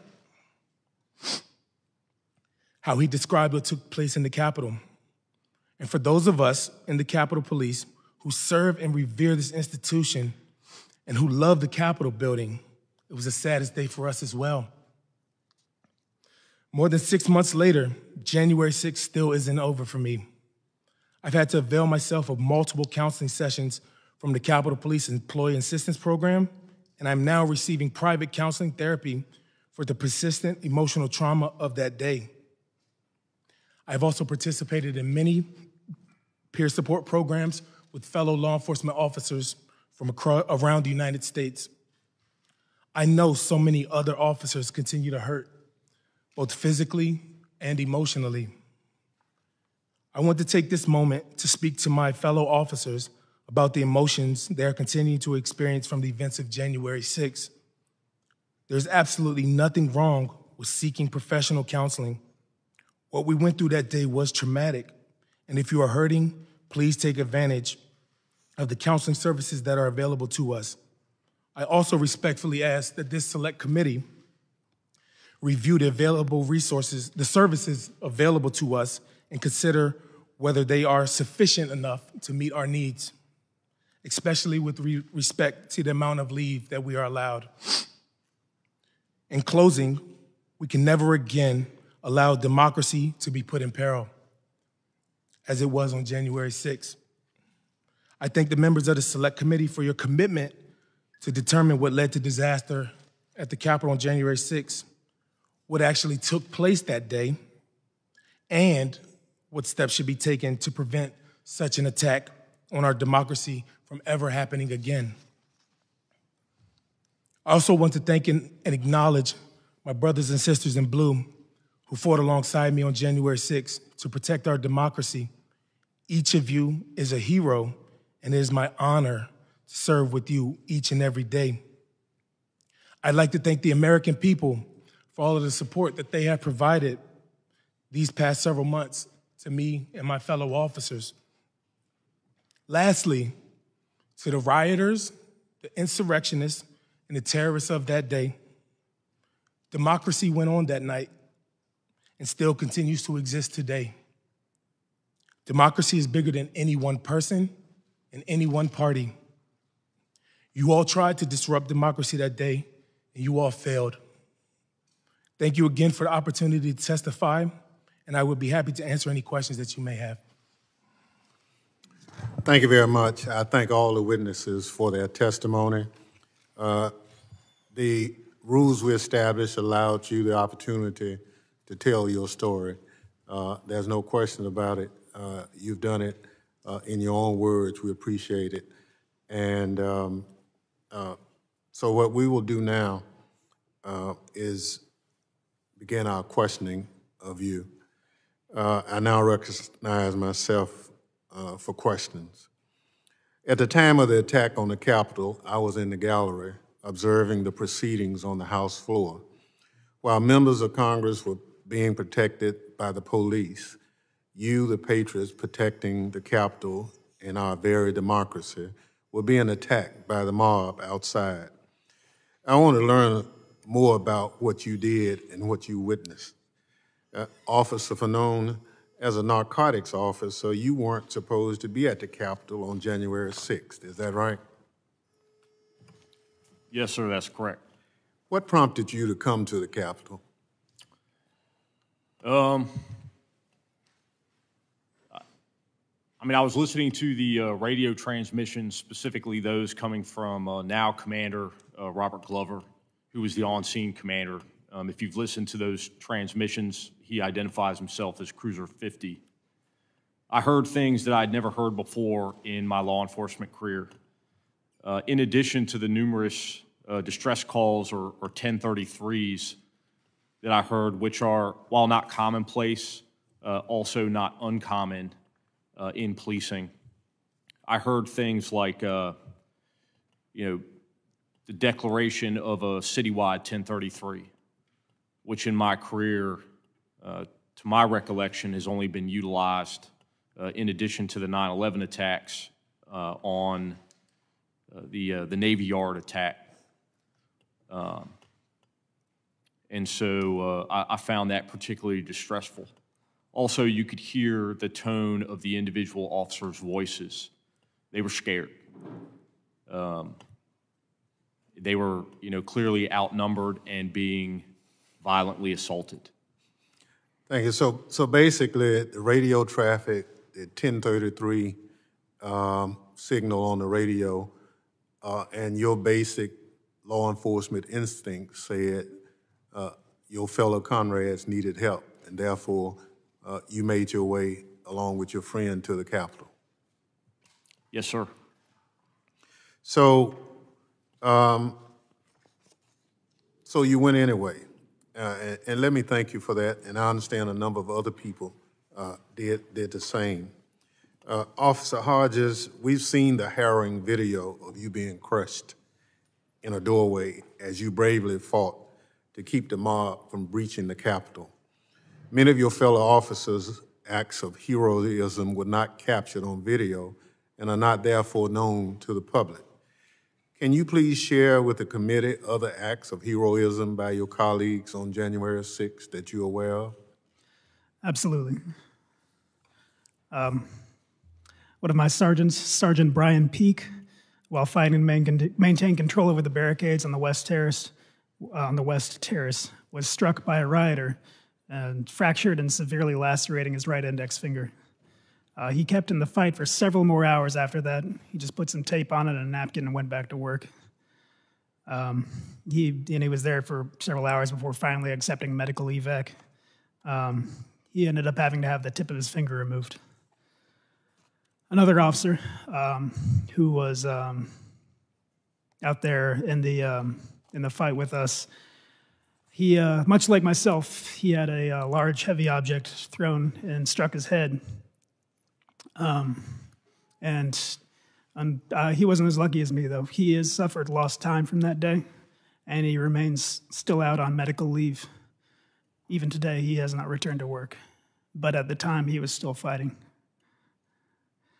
Another officer, um, he was fought on the West Terrace and in the tunnel, was instrumental to the defense after being completely soaked with OC spray, was uh, shocked several times by a cattle prod one of the terrorists brought with them. um, when I went over my uh, testimony, my opening statement before, I mentioned that we were attacked outside the secondary defense line on the West Terrace. And after we rallied there, we continued onward. I know that another officer found a uh, Capitol Police officer who was being dragged out into the crowd and he was unable to signal to us what was going on. So he charged in there by himself and got that officer back out of there. And uh, in the process, hyperextended his knee and took several other injuries. I, um, you know, the Washington Post and Carnegie Mellon University have estimated there were about 9,400 terrorists out there, and I would say we had about 150, 175 officers. So any one of them could tell you any amounts of uh, heroic acts or injuries they sustained, but uh, these are just a few that I know of. Thank you very much. Um, Officer Gonell, uh, you talked about your tour uh, in Iraq and what have you, and thank you for your service. Um, can you give the committee a sense of uh, comparing that, those two and experiences with uh, what you experienced on January 6th? Sure.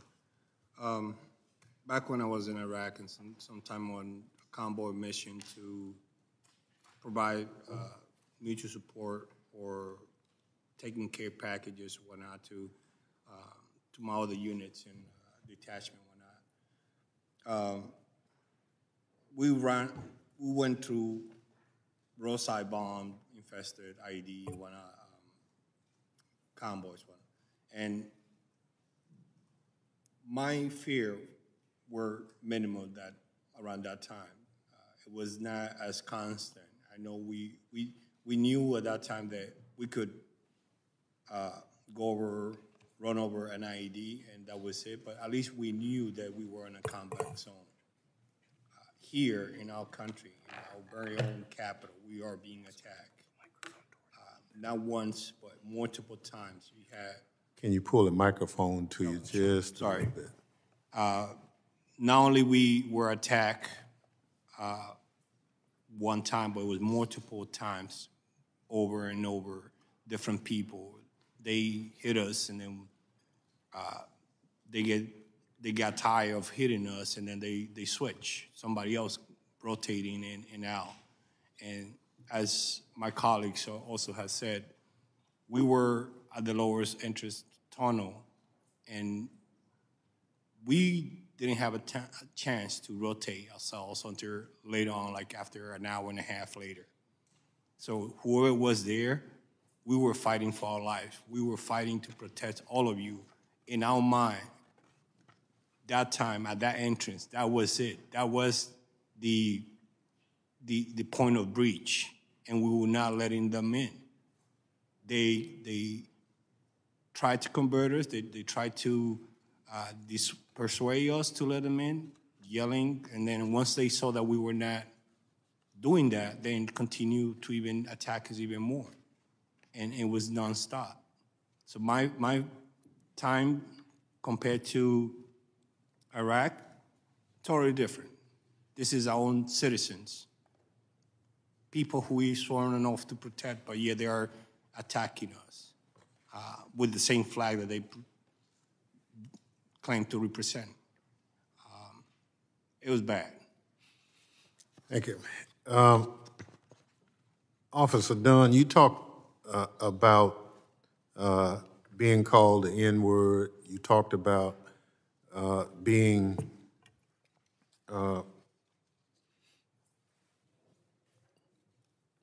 talked about uh, like you've never heard before. Uh, and you talked about sharing comments from the other colleagues, uh, as well as um, the seeing of the Confederate flag and other things carried uh, through the Capitol. Uh, as an African American law enforcement officer, uh, can you give us, this committee and those who are watching, uh, how you felt defending the Capitol on that day, uh, being called that and seeing the symbols uh, of the Confederacy uh, going through the Capitol at the same time? Yes, sir. Thank you for your question. Um, to be frank, while the attack was happening, I didn't view it and I wasn't able to process it as a racial attack. Um, I was just trying to survive that day and get home. When I did have a moment to process it, I think that's in the rotunda where I became so emotional because I was able to process everything that happened. And it was just so overwhelming and it's so disheartening and disappointing that we live in a country with people like that um, that attack you because of the color of your skin just to hurt you. Those, those words are weapons. Um, thankfully, at the moment, it didn't hinder for me from doing my job. Um, but once I was able to process it, it hurt. It hurt just reading it now and just thinking about it that people demonize you because of the color of your skin when my blood is red. I'm an American citizen. I, I'm a police officer, I'm a peace officer, I'm here to defend this country, defend everybody in this building, not just the members, all the staff, guests, everybody. It just hurts that we have people in this country that result to that, regardless of your actions and what you desire to do and to, to make a difference out there. It's, it's disheartening. So, Uh, Thank you, but because of your heroism on that day, uh, lives were sa- saved and our democracy was preserved, uh, in large part because you gave you all, all of you, uh, for that day on January 6th. I assure you this committee will ensure there's a comprehensive account of your heroic acts of that day. And your testimony this morning is an essential part of that record. Uh, thank you for your service to this country and for coming before us today. Uh, the chair now recognizes uh, members for questions they may wish to ask the witnesses. The gentlewoman from Wyoming, Ms. Cheney, is recognized. Thank you very much, Mr. Chairman. Uh, And, and again, thank you to all of our witnesses for um, your heroism and your bravery that day, and also for, for being here today uh, and, and telling your story. Um, And, and I certainly join the chairman and every member of this committee in our commitment to making sure we get to the truth uh, and uh, that those who did this are accountable. Um, Officer Gonell, I'd like to uh, ask you, you described in your testimony that it was, you said it was like a medieval battlefield. Um, uh, that what you were subjected to that day was something like a medieval battlefield. You said we fought hand to hand and inch by inch to prevent an invasion of the Capitol by a violent mob intent on subverting our democratic process. Um, and, and is it the case that as you were fighting there, you, you were not aware that, that the Capitol had been breached elsewhere? I, I believe you said that you really thought that was, you were the last line of defense. Is that right? That is correct. Um, and so, uh, Officer Gonell, when you um, think about that and, and share with us the vivid memory of, of the cruelty and the violence of the assault that day, um, and then you hear uh, former President Trump say, quote, it was a loving crowd. There was a lot of love in the crowd. H- How does that make you feel? It's upsetting. It's a pathetic excuse for his behavior for something that he himself helped to create, this monstrosity. I'm still recovering from those hugs and kisses that day that he claimed that so many rioters, terrorists, were assaulting us that day. If that was hugs and kisses, then we should all go to his house and do the same thing to him. To me, it's insulting, it's demoralizing, uh, because everything that we did was to prevent everyone in the Capitol from getting hurt. And what he was doing, instead of sending the military, instead of sending the support or telling his people, his supporter, to stop this nonsense, he egged them to continue fighting. I was in the lowest West Terrace fighting alongside these officers. And all of them, all of them were telling us Trump sent us. Nobody else, there was nobody else. It was not Antifa, it was not Black Lives Matters, it was not the FBI, it was his supporter that he sent them over to the Capitol that day. And he could have done a lot of things. One of them was to tell them to stop. He talks about sacrificing, sacrifices, whatnot. The only thing that he has sacrificed is the institutions of the country and the country itself only for his ego because he wants to continue do want to he wants the job but he doesn't want to do the job and that's a, a shame on him and himself Thank you. Um, Officer Fanone, um, you talked in your testimony uh, about the fact that the line that day was the seat of American democracy, was the seat of our government. Um, can you talk about as you as you think now about what was under threat? Um, first of all, did you know it? Did you did you have a sense at the time as you were going through the battle before the horrific violence happened to you um, of of the the, the nature of the gravity of the threat that we were facing, that the line was in fact the seat of American democracy? Uh, well, my response that day uh, really was based off of um, my obligation as a police officer to uh, not only protect the lives of the members of Congress and their staff, uh, but also to my fellow officers. Uh, the politics of that day really didn't play into my response at all. Thank you. Um, Officer Hodges, in your testimony, you talk about um, when you were at the Ellipse, and you mentioned the significant number of men dressed in tactical gear attending the gathering, wearing ballistic vests, helmet, goggles. When you when you saw that, um, was that something that you had anticipated at all? And could you just tell us more about that that crowd there at the Ellipse, the extent to which you saw people who who clearly uh, were in military or, or paramilitary garb? It was absolutely a source of concern. Um, like I said, they all they had um, outer carrier vests designed to carry uh, ballistic um, shielding, helmets, goggles, face masks, backpacks filled with unknown objects. Um, and I, I, couldn't get a count, and we couldn't stop and search everyone. But um, so I don't know how many there were, but I know that you know it was obviously a concern of mine. Uh, thank you very much. And then um, finally, Officer Dunn, you, um, you mentioned the text message that you received, um, and uh, you expressed some surprise. You mentioned that you had not seen any intelligence um, that would have led you to believe that we should expect that kind of violence. Um, could you elaborate on that a little bit? Yes, ma'am. Um, so we were expecting civil disobedience as we do at the Capitol. Um, at least that was what was relayed to us. Um, a couple of arrests, um, name calling, you know, unfriendly people, but nowhere near the level of violence or even close to it like that we experienced. Um, when I received the text message, it, it, it made the hairs on my neck rise. Um, but uh, since our, our chain of command had not told us to prepare for any of these levels of violence, um, I was just like, okay, whatever. Like I've been here.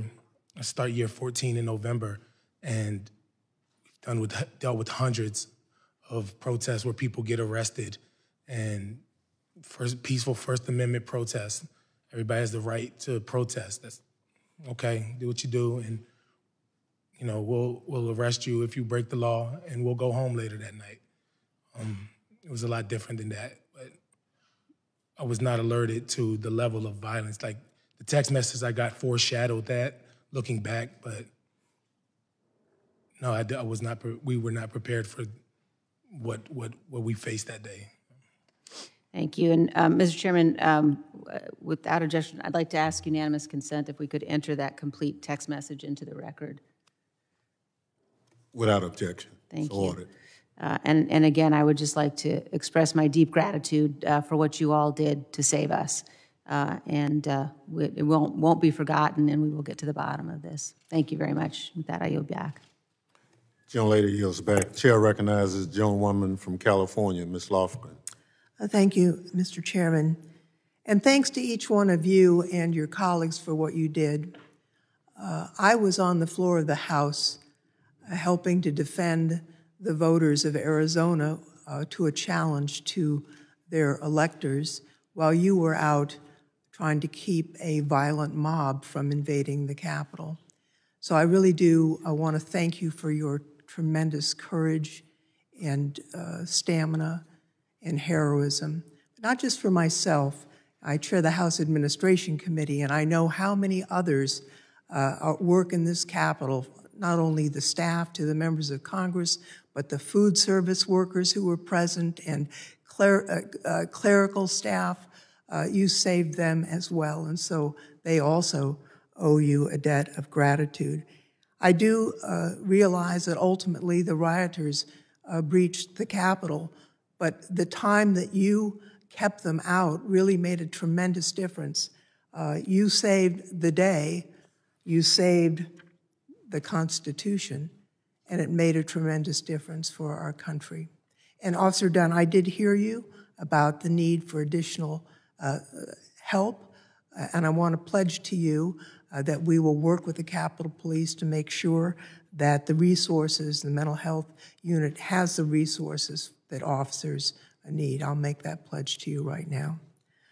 I, I would like to ask uh, Sergeant Gonell, not everyone knew that you were fighting in the hallway near the lower uh, west terrace on January 6th. Can you tell me what you went through on that hallway? And then while you were there, uh, uh Metropolitan Police uh, arrived for uh, to help you out. What difference did that make? Sure, ma'am. before I start, I just, by no means am I uh, suggesting that we go to his house. I mean, I apologize for my outburst. Um, after we retreated to the uh, lower West Terrace entrance, uh, it was rough. It was it was terrible. Everything that was happening to us, it was simultaneously, and we didn't have a lot of support. Um, we had probably like 50 officers at most when we went back in. Um, and once we were there, we started saying to ourselves, this is it, this is the entrance where they're gonna try to breach. We're gonna hold the, the line. Uh, we're gonna do everything possible without even co coordinating among ourselves. Uh, the people, the few officers who were still carrying shields, we automatically assumed position in the front some of the, those shields were taken, ripped apart from the officer's uh, hand. Um, some of the officers also got concussed because they were hit with the same shields they were holding, uh, because that, that was so violently taken from them that they, they were concussed. Um, there, uh, we, we did multiple struggles in, in terms of fighting my round, my shield was round, and I was able to get some strikes. But because we were in so close quarters, it was hard for us to even do that. Uh, the only thing we were, were allowed to was push forward. Uh, whoever had shields, stay in the front, and whoever was in behind the people with the shield, and they were striking those uh, riders. Uh, at some point, I fell on top of the floor, uh, on, on the floor with, on top of some shields, uh, trying to uh, help and assist some of the officers. Um, and I got pulled to the crowd. Luckily, I was able to, to free myself and, and stand up. The, later on, uh, the second time I went back to the front, that's when I, uh, Officer Hodges was getting trampled. I was getting trampled because just a mere force of uh, the, the riders pushing forward and police officer pushing out, we were getting trampled in the middle. So it was, it was very uh, terrible that happened to us. Officer Fanone, before I ask you a question, I, I'd like to show a brief video clip of some of what you went through today. I realize this can be difficult to watch, but I think it's important for the public to see.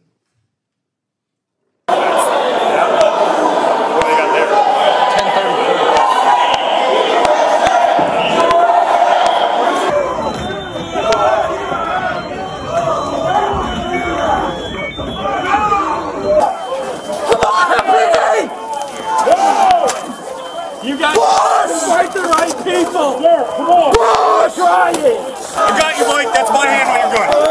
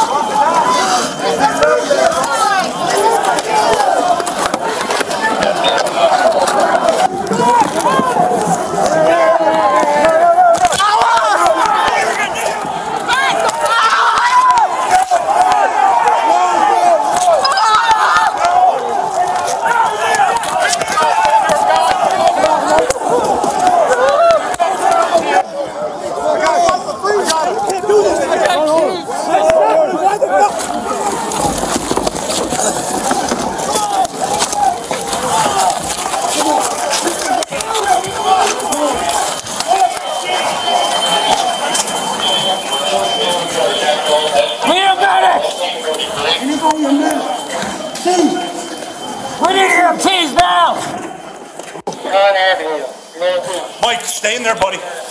Mike, it's Jimmy. I'm here. Mike. Almost all of that was from your body camera footage. Can you walk us through what we've just seen, Officer Fanone? Uh, well, I believe the uh, the first portion of that video began uh, was my body worn camera footage from the crypt area of the Capitol Rotunda. Uh, it was there that I first heard the 1033 or distress call come out from the lower West Terrace tunnel, uh, which I didn't realize at the time was uh, only a few hundred yards away from where I was at. I told my partner, Jimmy Albright, who was there with me, that there was a 1033 coming out from the lower West Terrace. Uh, we tried to get our bearings and figure out which way that might be. Uh, we asked a group of Capitol police officers, and they directed us down a set of stairs. Uh, from there, Jimmy and I walked down to the lower West Terrace tunnel. Uh, the first thing I remember was seeing a, uh, a buddy of mine, uh, Sergeant Bill Bogner, who's a uh, administrative sergeant. He used to work in my district. now he works over at the academy and uh, he was unable to see. He had been sprayed in the face with bear mace. And I went up to him and uh, told him, hey, it's, uh, it's Fanone. I remember he uh, stretched out his hand to shake mine. and that's when he told me that the guys that were just beyond that set of double doors had been fighting there for, uh, I believe he said about 30 minutes. I don't think he realized what time it was because they'd been fighting since around 1 p.m. It was 3 o'clock so those guys have been there fighting for two hours unrelieved. Um, I remember looking up through the set of double doors, there's glass panes, and you could see the uh, CS gas, like white powder, still lingering in the air.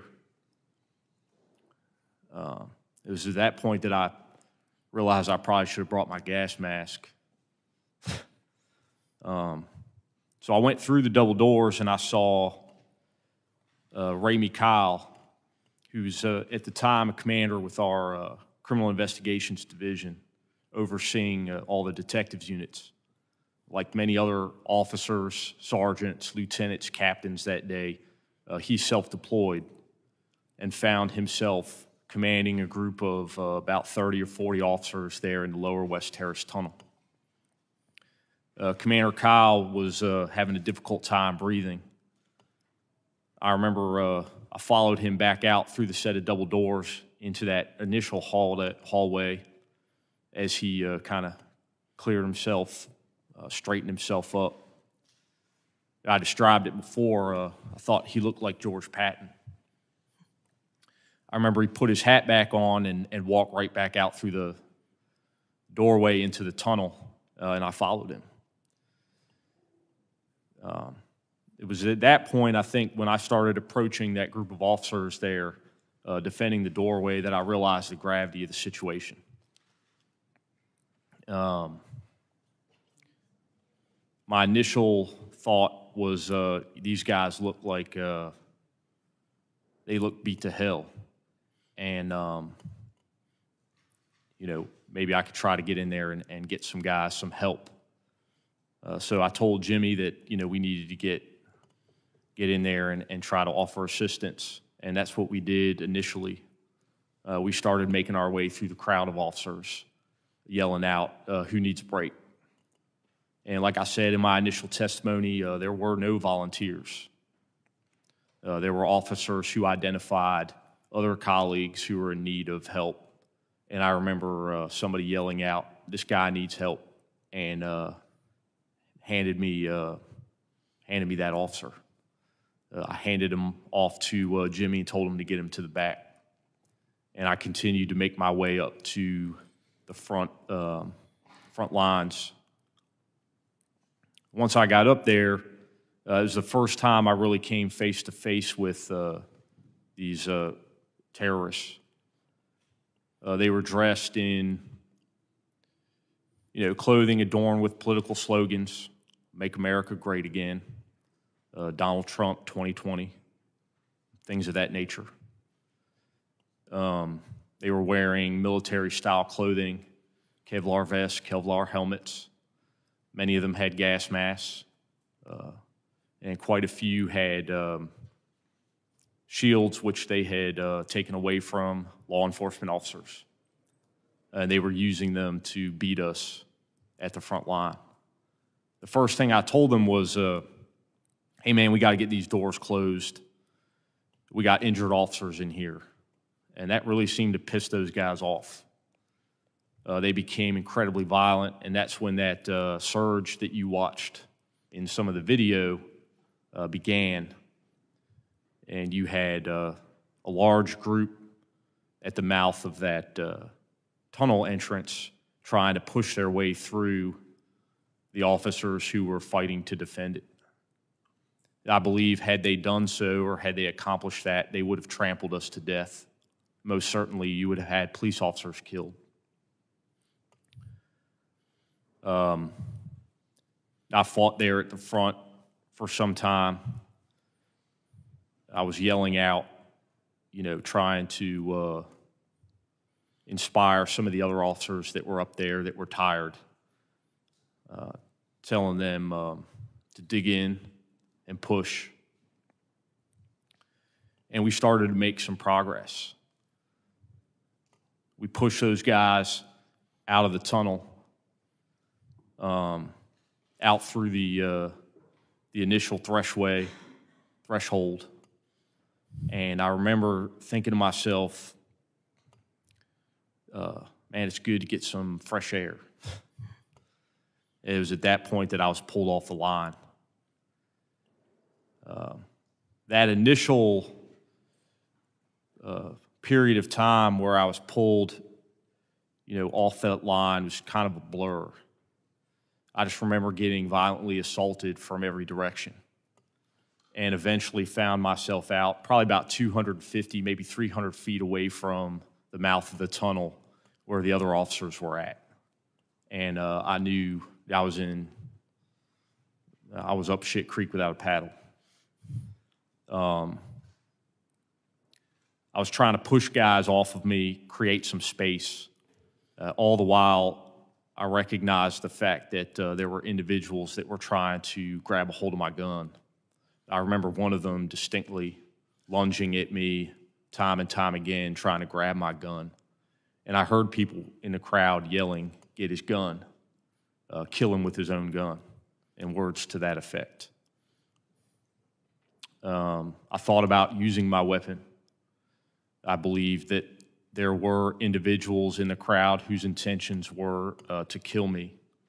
And I came to that conclusion because of the fact that, uh, separated from these other officers uh, who were only trying to defend the Capitol, I no longer posed any type of threat, uh, nor was I uh, an impediment to them um, you know, going inside of the building. Uh, but yet they tortured me. They beat me. Uh, I was struck with a taser device at the base of my skull numerous times. And they continued to do so uh, until I yelled out that I have kids. Uh, and I said that hoping to appeal to some of their, uh, some of those individuals' humanity. Um, and fortunately, a few did step in uh, and intervene on my behalf. Um, they did assist me back towards the mouth of the tunnel entrance, and uh, other officers were then able to uh, rescue me and pull me back inside. But at that point, I was unconscious. And uh, based off the uh, body worn camera footage, um, it's believed that I was unconscious for approximately four minutes. Thank you, officer, and thanks to each one of you. Our country is lucky, really blessed, that you are as patriotic and brave as, as you are. I yield back, Mr. Chairman. Young lady yields back. Chair recognizes gentleman from Illinois, Mr. Kinzinger, for however long he chooses. Thank you, Mr. Chairman, and uh, thank you to my colleagues on the committee Thank you to our witnesses. Uh, I never expected today to be quite as emotional for me as it has been. Uh, I've talked to a number of you and gotten to know you. I think it's important to tell you right now, though. You guys may, like, individually feel a little broken. You guys all talk about the effects you have to deal with, and, you know, you talk about the impact of that day. But you guys won. You guys held.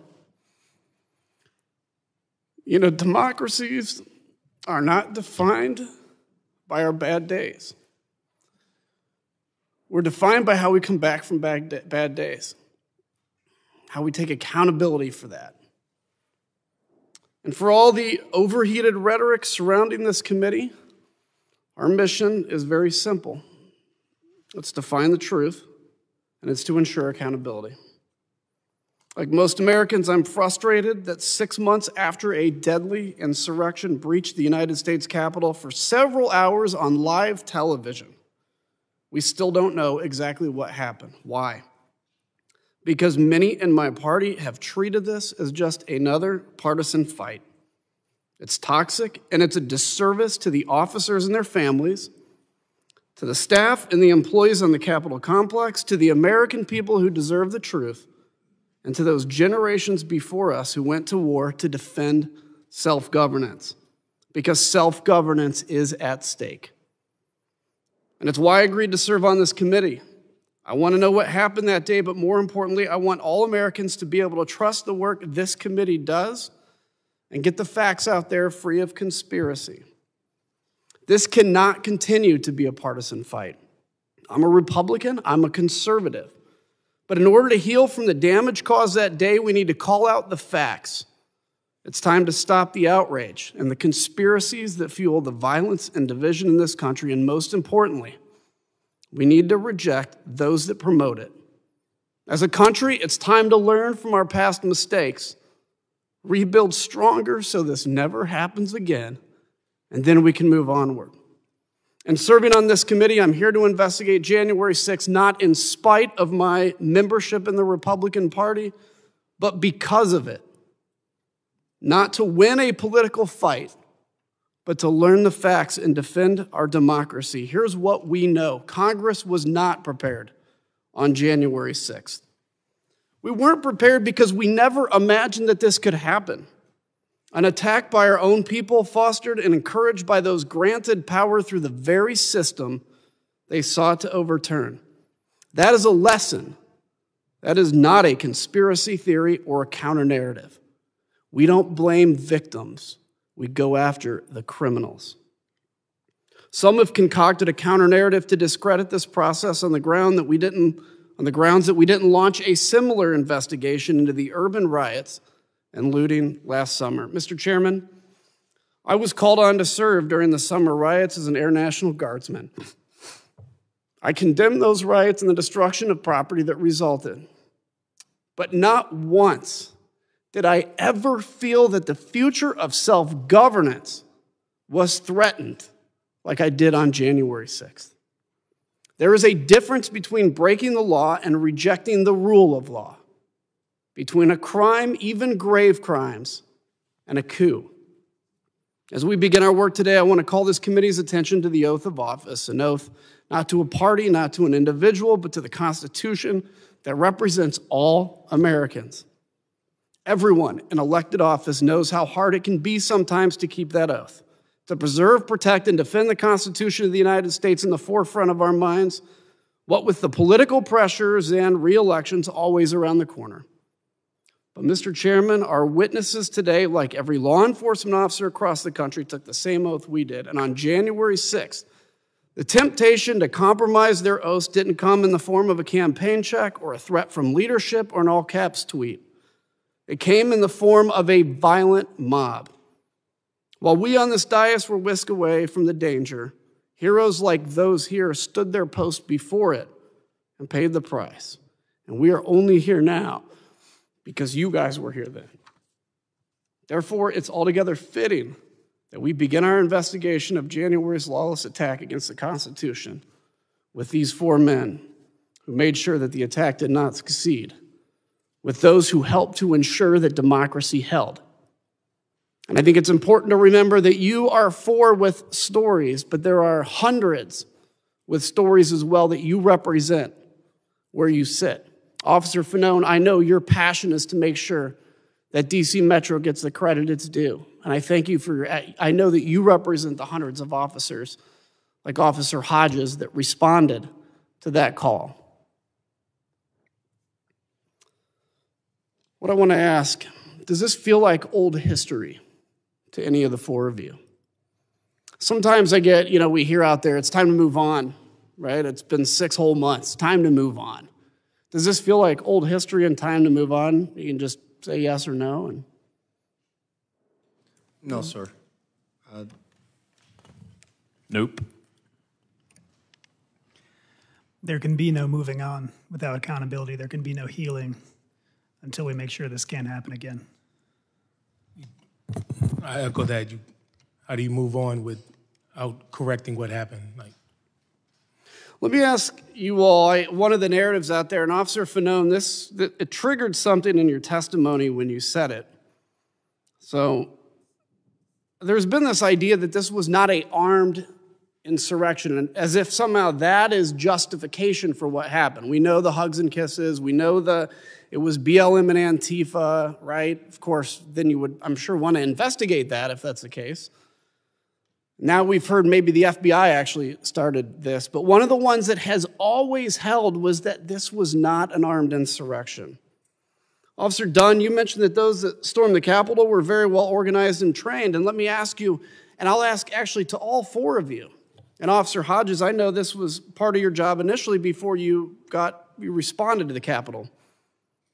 If in the middle of all that melee you see somebody with a gun in that crowd, would you be able to go out, apprehend, arrest them, read them their rights, and go through that process? Or was the mission at the moment survival and defense of the capital?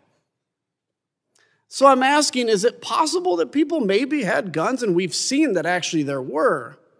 But this idea that, wow, people weren't arrested with guns, at the time it was raw survival.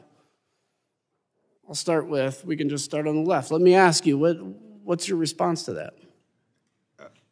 For those people who continue to downplay this uh, violent attack on our democracy and our officers, uh, I suggest them to look at the videos and, and the footage whatnot because common things were used as weapons like a baseball bat, a hockey stick, a rebar, a flagpole, um, including the American flag uh, pepper spray, bear spray. So you name it. You have all these items and things that were thrown at us and attack and used to attack us. Those are weapons.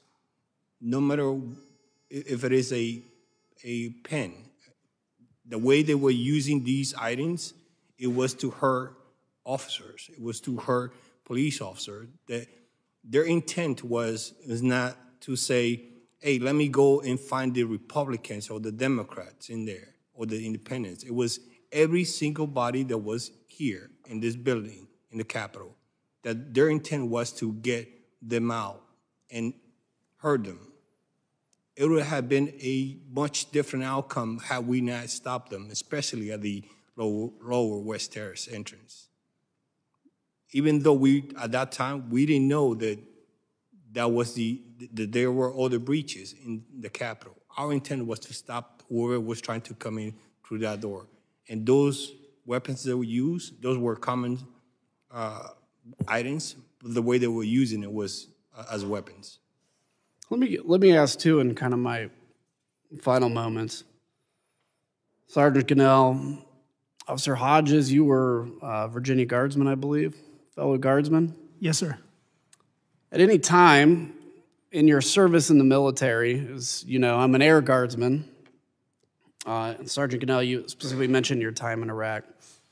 At any time in your uh, uh, military service, did you change how you defended the person to your left or right, or how you trained with them based on their political affiliation? No, whether not it was in war or anything. No.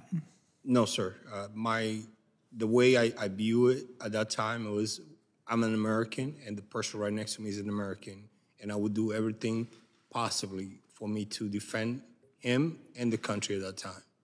You guys did that. You guys did that in the blue. Yes, sir. And I want to say that is the mission of this committee. We may have our deep differences on other policy issues, but we are all Americans today. And we thank you for holding that line.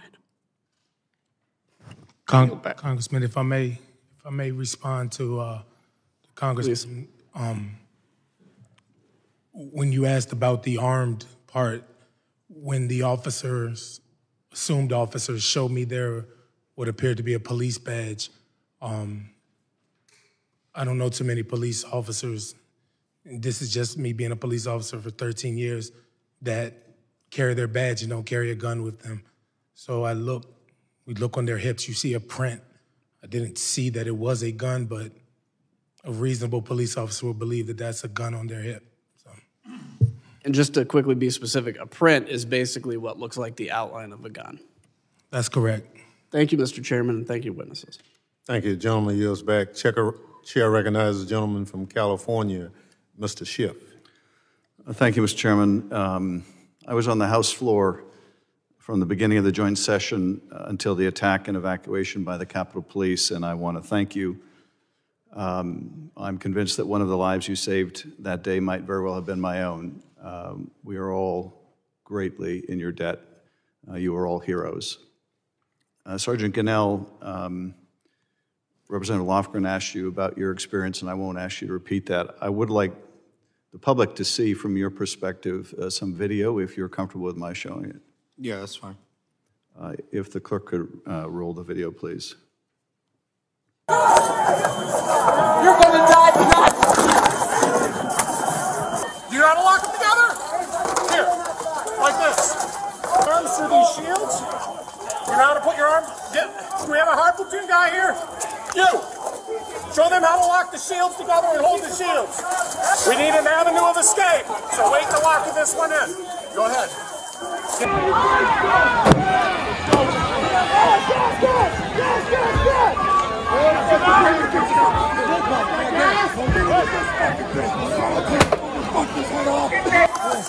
up! No, stop! Stop! Stop! Stop!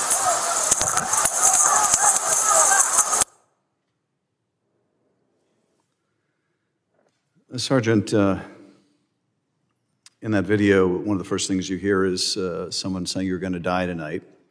Um, you described uh, in your opening statement uh, being crushed by rioters. You could feel yourself losing oxygen, thinking this was how your life was going to end, trampled to death, uh, defending the Capitol.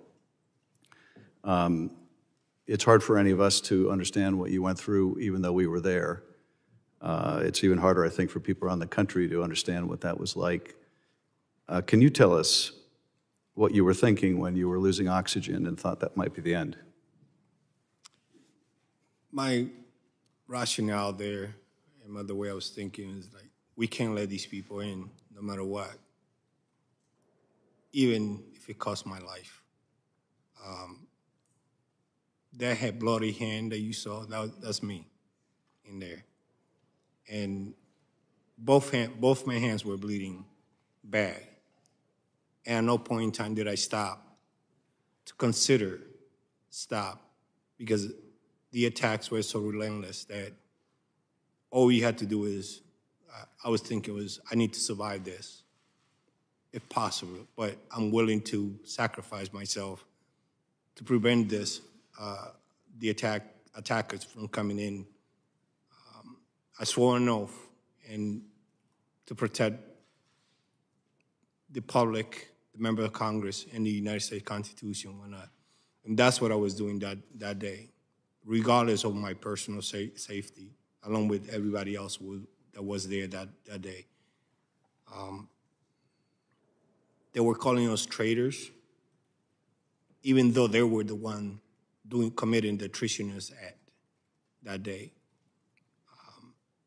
It, it is devastating and demoralizing for people, whoever party is, to call the, this attack and continue to minimize it like nothing happened. it was an attempted coup that was happening at the Capitol that day. And if it had been another country, the U.S. would have sent help. And it, it, people need to understand the severity of in the magnitude of, of the event that was happening that day. We were all fighting for our lives to give them, to give you guys a chance to go home to your family, to escape. And now the same people who we helped, the same people who we gave them the borrowed time to get to safety, now they're attacking us. They're attacking our characters. They're attacking Officer Harriet character, people who never served in the, in the military or in, as a law enforcement. It's a disgrace. Um, my actions that day was to save you guys, regardless of my personal safety. And I still continue to, to wanting to do that today, tomorrow, and as long as I'm permitted to do it, and if it is, if it is demanded of myself to do that in the future. Sergeant, uh, this obviously had a deep impact on you, uh, all of you, um, but it's also had a big impact on your family. Uh, you described uh, how when you got home you couldn't even hug your wife because you had chemicals all over you.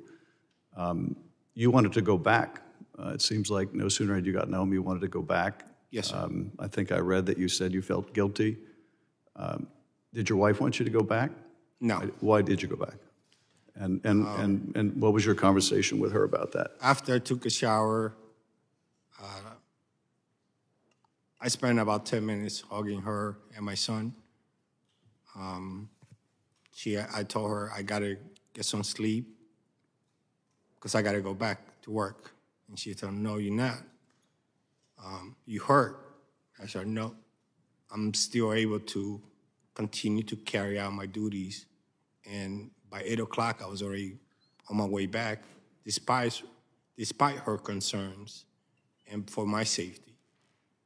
My sense of duty for the country, for the Constitution, at that time was bigger than even my love for my wife and my, my son.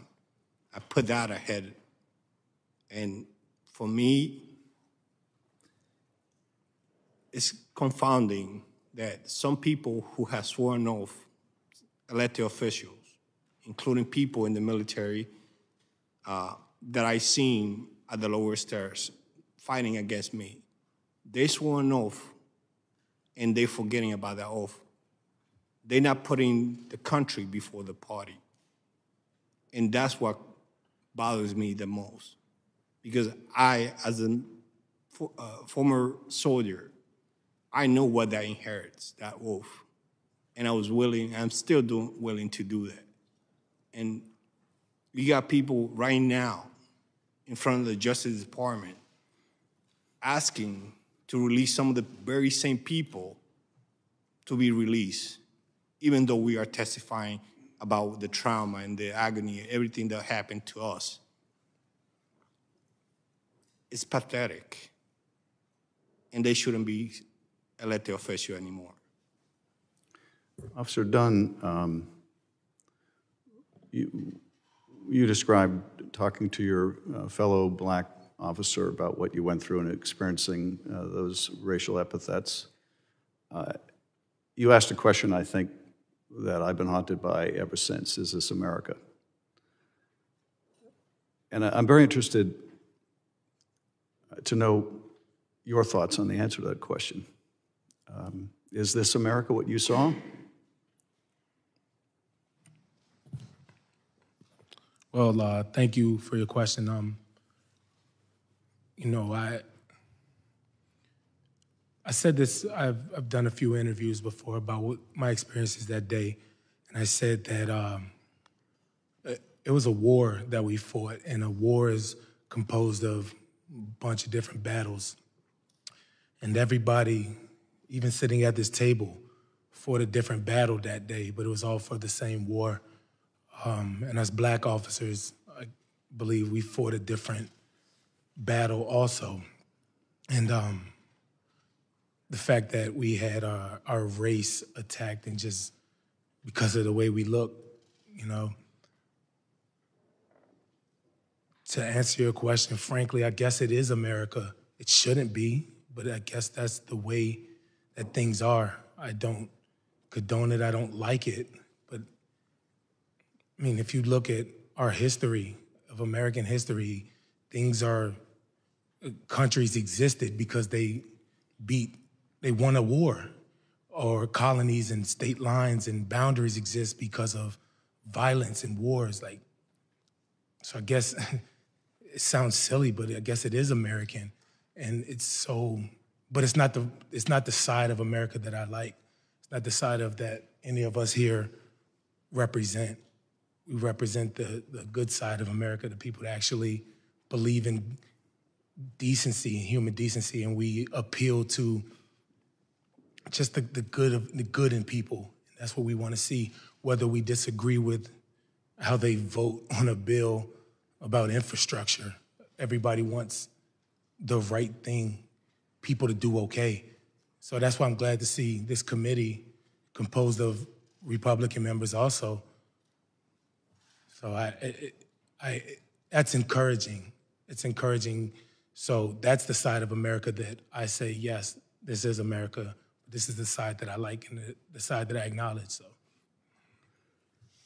Officer, thank you. Um, I believe in this country, and I believe in it because of people like you uh, who understand what the flag means and what our Constitution means and risk their lives to defend it. I'd like to think, uh, uh, as Amanda Gorman so eloquently said, uh, that we're not broken, we're just unfinished. Because if we're no longer committed to a peaceful transfer of power after our elections, uh, if our side doesn't win, then God help us. If we deem elections illegitimate merely because they didn't go our way rather than trying to do better the next time, then God help us. And if we're so driven by bigotry and hate that we attack our fellow citizens as traitors, if they're born in another country or they don't look like us,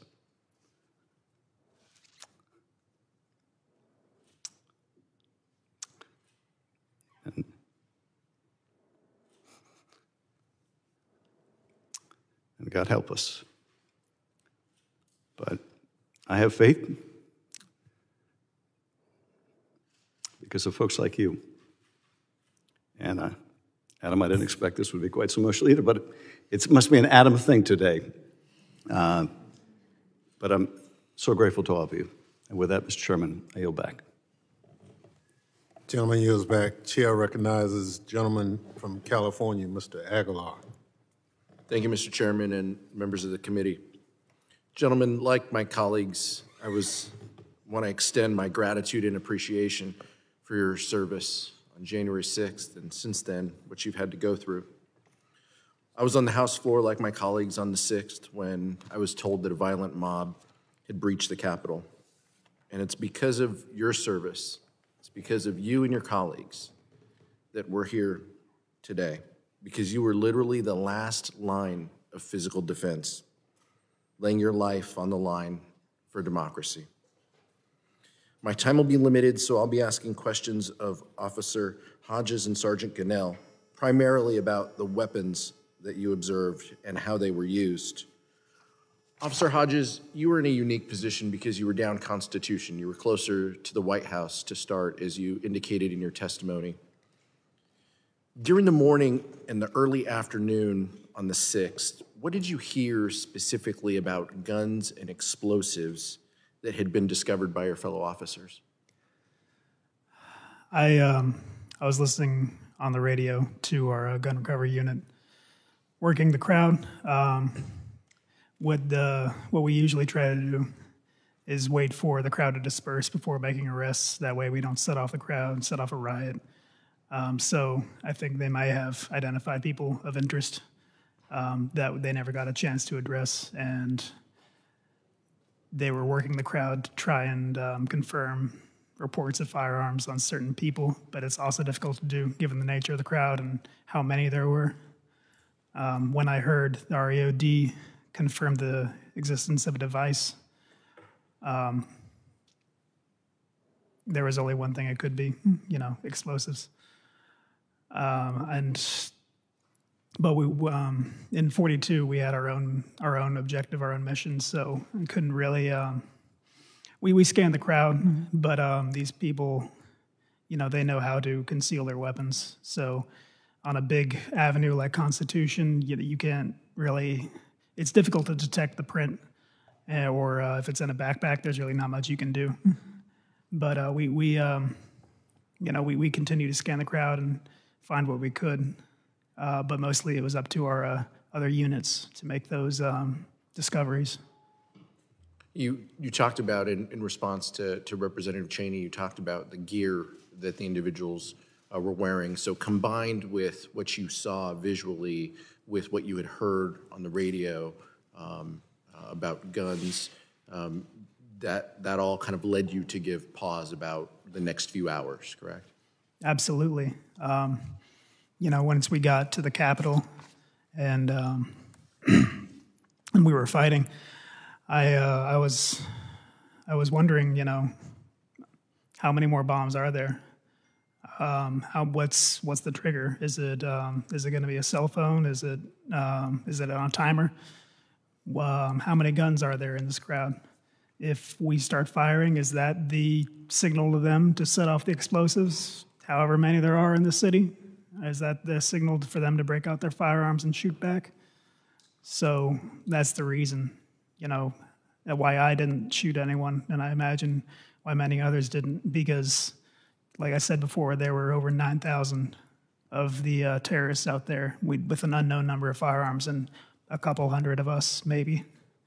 So we could not, if that turned into a firefight, we would have lost. And this was a fight we couldn't afford to lose. I want to play a video, and I'd ask that everyone watching pay attention specifically to the weapons the rioters were using. You can hear someone yell, Get your machete. Uh, you can see officers being attacked with flagpoles, flares, and gas canisters. If we could roll the video.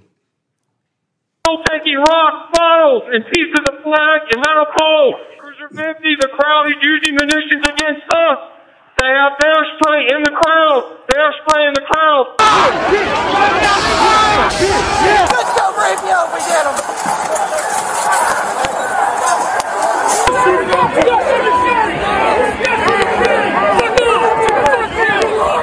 him.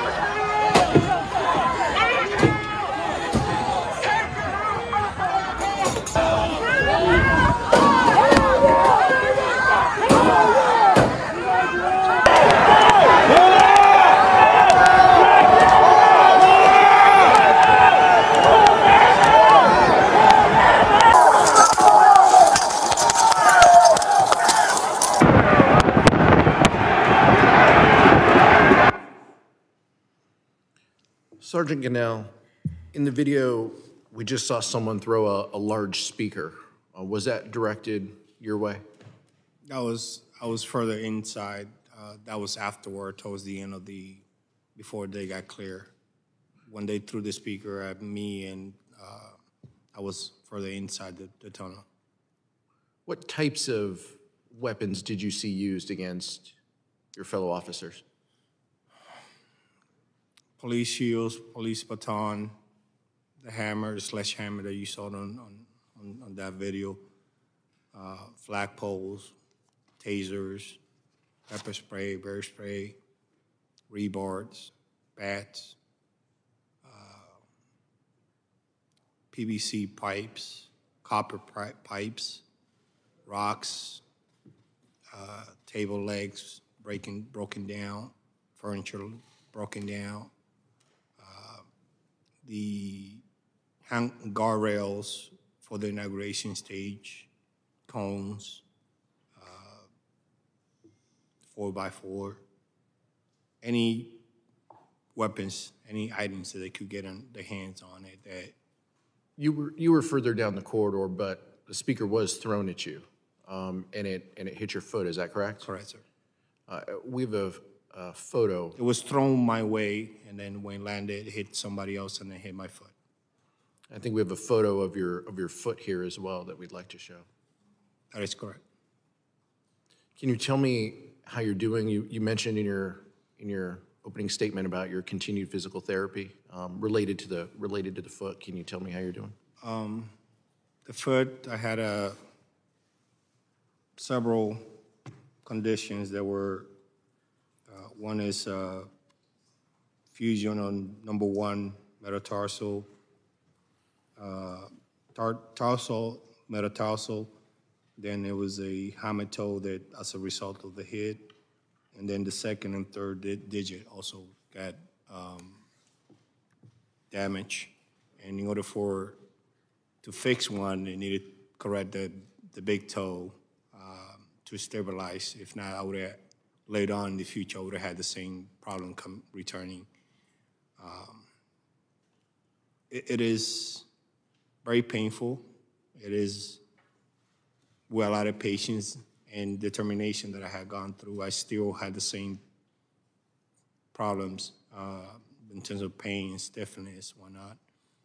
The doctor last week on Tuesday told me that I I'm going to need surgery on my shoulder because I have a labrum tear that has not healed even six more than six months later, uh, and possibly my uh, rotator cuff also is going to need some work. So you're talking about eight months to, to a year more of physical uh, tr- treatment and rehab. Sergeant, you're an immigrant from the Dominican Republic, a naturalized U.S. citizen, and you mentioned how individuals had zeroed in on your on your race um, that day. Yes, sir. Can you tell me how that how that made you Um, feel? When we were af before or right after uh, MPD just arrived with the uh, fluorescent uh, mountain bike unit, they, they got there. I was at the front line, and they apparently they seen even through the, my mask, they saw my skin color and said, "You're not even an American." Regardless, whether whether I was in the military, they don't know that, but they yelling and and saying all these things to me. I mean, when I heard that, I wasn't even thinking about any racial stuff. I'd be like, okay, you don't know that for a fact, so I, I'm not even entertaining that. But it, it's just like Officer Harry uh, Dunn. It takes time for you to process that, and, you only realize what was happening after you go back and, and, and, and see it from a different point in time because I only saw that recently. But for me, I wasn't even thinking about that. I'm I'm there to stop them regardless. I, I'm not thinking what what they were yelling in terms of my skin color or my race. And I know an American soldier, uh, soldier and former soldier and a police officer. I didn't take that in, into account when I was defending all of you guys. Officer Hodges, you characterized the attack on the Capitol as a white nationalist insurrection. Can you describe what you saw that led you to label the attack that way? The crowd was overwhelmingly white uh, males, um, usually a little bit older, middle age, older, but some younger. I think out of the entire time I was there, I saw just two women and two Asian males. Everyone else was white males. Um, they're um, they didn't say anything, especially um, xenophobic to me, but to uh, my black colleagues and anyone who's not white. And they would, some of them would try to try to recruit me. One of them came up to me and said, "Are you my brother?" Um, there are many, uh, many known um, organizations with ties to white uh, supremacy who had a presence there. I know, like three percenters, oath keepers, that kind of thing. And um, everyone I've ever, people who associate with Donald Trump are uh, find more likely to subscribe to that kind of belief system. I want to thank the four of you for taking the very difficult step of sharing your stories and your recollections of the threats, violence that you endured. No one should have to experience what you went through. And this committee will continue its work to give a complete accounting of what happened, to protect further officers, and to amplify the stories that you've shared today. Thank you so much for being here. Yield back, Mr. Chairman. Thank you. Gentleman yields back. Chair recognizes the gentlelady from Florida, Ms. Murphy, for five minutes. Thank you, Mr. Chairman, um, and thank you to the witnesses um, for your testimony today, for your bravery on January 6th, and for your service to our country. Um, I know all of you endured a great deal on January 6th, and I know we've uh, watched a lot of difficult video um, in this testimony so far, but I hope it's okay with you if I, I show a brief video of what um, Officer Hodges experienced that day. Can you please cue the video?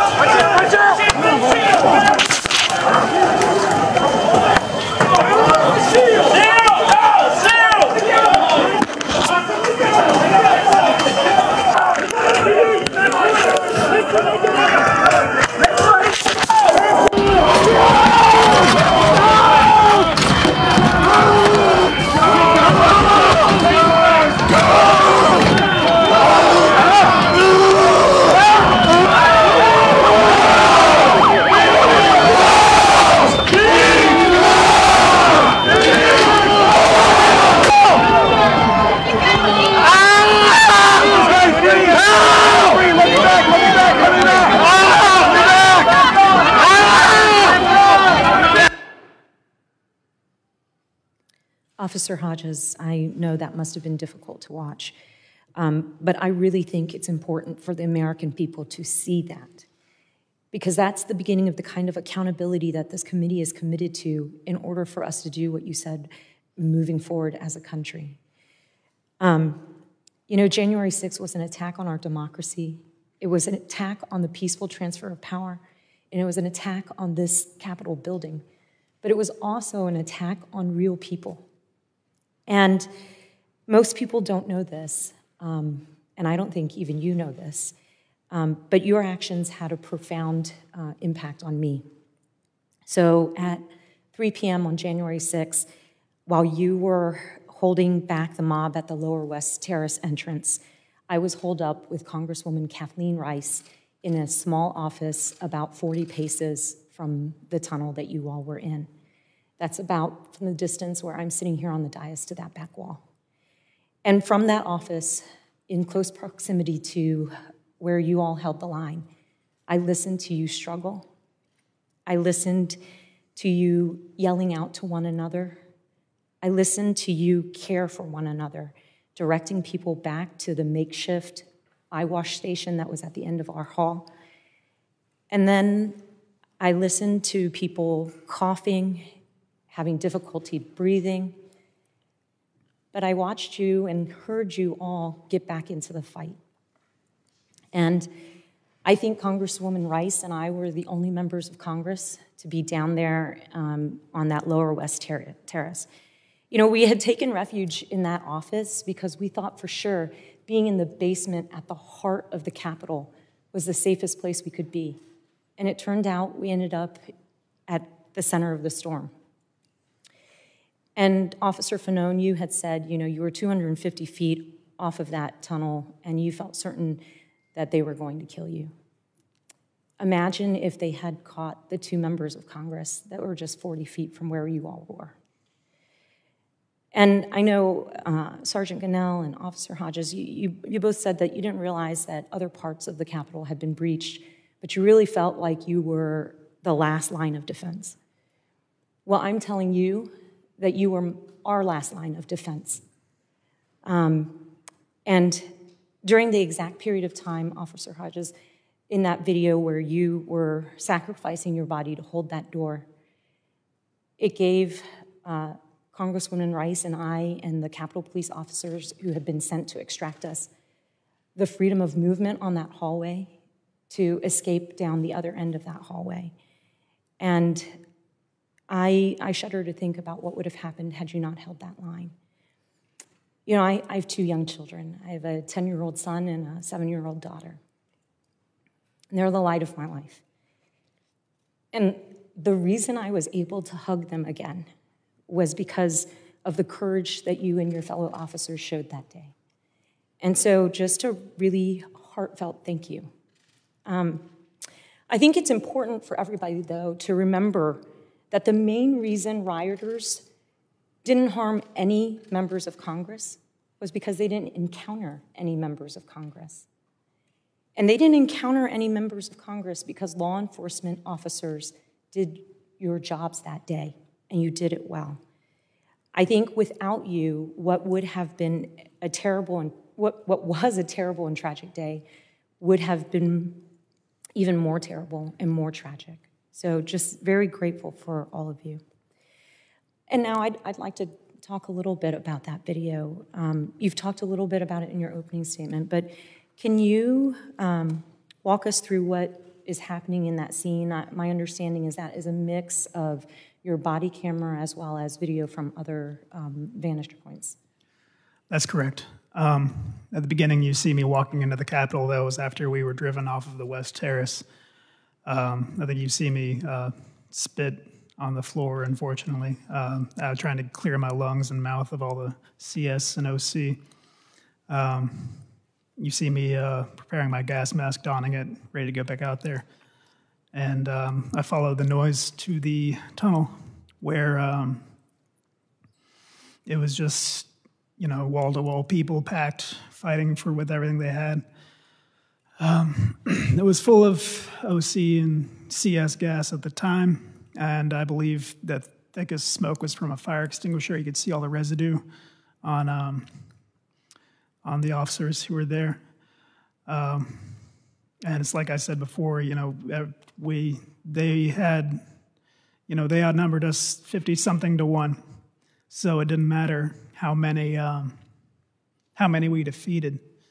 We just had to um, we had to hold on. We couldn't let anyone uh, couldn't let anyone through, and they they always had a a relative, you know, um, essentially an infinite number of replacements. They'd say, you know, we need fresh patriots up here and there would be more. So we just had to hold until someone came to help. Um, and like I said, once I got to the front, I didn't want um, I didn't want any more pressure on the officers behind me.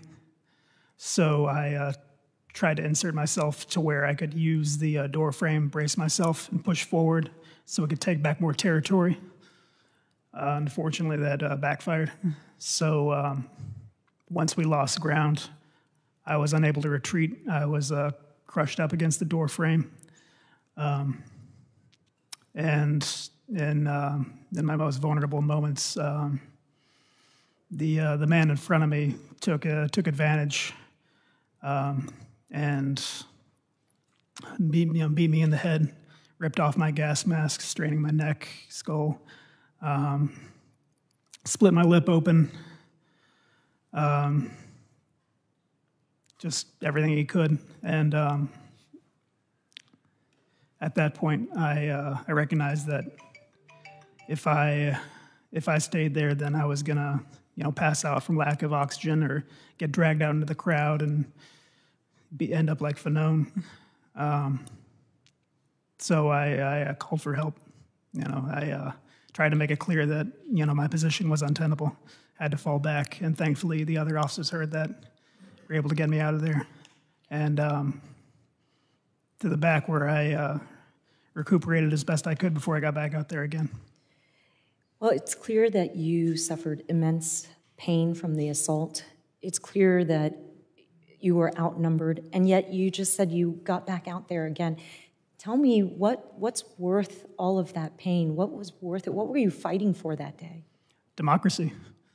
Um, you were 40 feet away, 40 yards, whatever. Um, if, especially with the razor thin margins on um, Democrats and Republicans in the House and Senate, if any single one person was kidnapped or killed, which I have no doubt in my mind is what they intended, that would affect the outcome of legislation and and all your uh, duties for years to come. And if that, that's just one person, what if you know more than one person? It would the difference would be even greater than what should be and will be. Um, and for obviously for each other you know, you, you, um, your immediate concern is the well-being of your colleagues, the other officers who were there fighting beside me. Um, I think I can speak for everyone I say we worry about each other more than ourselves. That's just in our nature. Uh, it's part of why you become a police officer. So, you know, like when Fanone said he was trying to find out who needs help and no one would volunteer, that's just an example of that kind of uh, mindset that we have. So it was, um, it was for democracy, it was for the men and women of the House and Senate, it was for each other, and it was for the future of the country. Thank you, Officer Hodges, and thank you all um, for uh, defending democracy. And um, I appreciate your testimony and I appreciate your continued service. With that, I yield back. Young lady yields back. Chair recognizes the gentleman from Maryland, Mr. Raskin. Thank you, Mr. Chairman. Sergeant Gonell, Officer Fanone, Officer Hodges, Officer Dunn, you are great law enforcement officers and a hero to law enforcement officers across the country. You're great public servants. And You are a hero to public servants across the country, but you are great Americans and you are heroes to all of America. And long after you are gone, you will be remembered as heroes to our country, along with your fellow officers. And those who attacked you and those who beat you are fascist traitors to our country and will be remembered forever as fascist traitors. Now, Officer Dunn, I've got to start with you because you're my constituent. And you are the pride of Maryland today because of the way you stood up for the Capitol and for the Congress and for our democracy. But you said something fascinating in your testimony. You said you never seen anybody physically assault a single officer before in your 13 years on the force, much less thousands and thousands of people attacking hundreds of officers. So, how did you experience that when it first happened?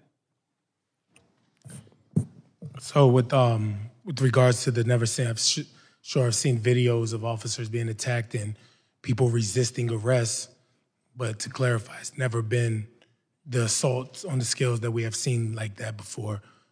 Um, I just wanted to clarify that. Can you uh, repeat your question? Well, actually, it leads to my next one, actually. Um, you made a really interesting point. You said you'd seen protests for many, many years. You'd seen even civil disobedience for many years. There's an effort today to portray the events of January 6th like some kind of uh, resurrection of Dr. King's March on Washington in 1963. You know, and I've seen a lot of protests here too. I've seen the March for Our Lives that the young people did uh, about gun violence. I see people marching for DC statehood, arguing for their rights to representation uh, in Congress, and I've seen civil disobedience. But was this like any of those rallies or marches or demonstrations you'd ever seen? And if not, what was different about it? So the, the the marches that you the protests that you specifically talked about, I'll go a step further and talk about the not so one, the ones that had the potential to be not so peaceful. You had the, um, the Million Man March rally, uh, the 20th anniversary of it. Um, it was a lot of opposition to that. You had the Klan that came up here. You had people that were pro guns that wanted to come up here. So the, all of those had the potential to be very violent and frankly quite deadly, uh, but they did not. Um, on, this wasn't the first time that, if I can just use this quote, that the MAGA people came up here to the Capitol before. They were in DC before. There were some skirmishes, but it was never the attempt to overthrow democracy. They came up, I think this was maybe their second or third time that they had come up on January 6th. And even then, as belligerent as they were, it didn't account to this violence. So the only difference that I see in that is that they had marching orders, so to say. Um, when when people feel emboldened by people in power, they they assume that they're right. Like the the one of the scariest things about January 6th is that the people that were there, even to this day, think that they were right. They think that they were right. And that that makes for a scary recipe for, for the future of this country. Um, so that, I think that's why it's very important that you all take this committee seriously and get to the bottom of why this happened and let's make it never happen again. Thank you. Um, Officer Fanone, um, I think you've given our committee our marching orders today, which is to hold the line. You held the line, and now we've got to hold the line. So I want to thank you for that. If we show a fraction of the courage and the valor that you all demonstrated on January 6th, then we will hold the line in this committee. But I want to ask you about holding the line. I want to go back to this question of weapons so we can clear this up, because there are still some people who are saying that the, that the insurrectionists were unarmed. And I wonder what your reaction is to that, because we've heard about, well, first of all, rampant baseball bats, lead pipes, um, Confederate battle flags, and so on. Um, and what about the question of firearms? So, what is your reaction generally to this proposition that they weren't armed? First and foremost, uh, I would say that the implements that you just described uh, are most certainly weapons. Uh, with regards to firearms, um, I know that in the days uh, immediately before the January 6th insurrection uh, and January 6th itself, firearms were recovered uh, by law enforcement from individuals in Washington, D.C., who were believed to have been participants or at least those who were planning to participate in the January 6th insurrection. Uh, and yes, those were firearms, handguns, and such. Um, forgive me for these questions, but I've got to ask you. Uh, apparently, in some nether regions of the internet, it's being said that uh, you, Officer Fanone, maybe were mistaken for Antifa, and that's why you were nearly beaten to death that day and carried in the crowd. Is there any way you think you were mistaken for Antifa? Well, I was in full uniform. Uh, I was like I said, wearing my uniform shirt adorned with the Metropolitan Police Department's patch. I had my badge on until somebody ripped it off my chest. Uh, yeah. I do not believe I was mistaken for a member of Antifa. Um, you mentioned in your testimony that there's some people who would prefer that all of this go away, that we not have an investigation. Let's let bygones be bygones. But you seem pretty determined to get the country to focus on this. Why is that so important to you? Uh, well, first and foremost, uh, because of the actions of uh, officers who responded there that day, uh, specifically from my department, but also from the U.S. Capitol Police and, and some of the surrounding jurisdictions. Um, you know, downplaying the events of that day is also downplaying those officers' response. And like Sergeant Gonell said, some of the officers. Uh, part of the healing process uh, from recovering from the traumatic events of that day is having the nation accept the fact that that day happened. Some people are saying that, uh, that as public servants, you all should not be speaking out, that cops, firefighters, teachers should just serve the public but should not speak out as citizens. What do you think about that, Officer Fanone? Um, well, I disagree. I've been outspoken throughout my career, uh, never to this magnitude. Um, as an undercover officer and a narcotics officer, I've preferred uh, obscurity in the public eye. Um, however, this, uh, this event is something that we have not experienced in our lifetimes. Officer Hodges, um, I read your testimony carefully. I hope every American reads your testimony. But I noted that you referred to terrorists or terrorism 15 different times to describe the people who were assaulting officers, dragging them through the crowd, stealing their weapons, smashing them over the head, gouging eyes, and so on. Um, however, some of our colleagues have been calling the violent insurrectionists not terrorists, but tourists. Why do you call the attackers terrorists, and what do you think about our colleagues who think we should call them tourists?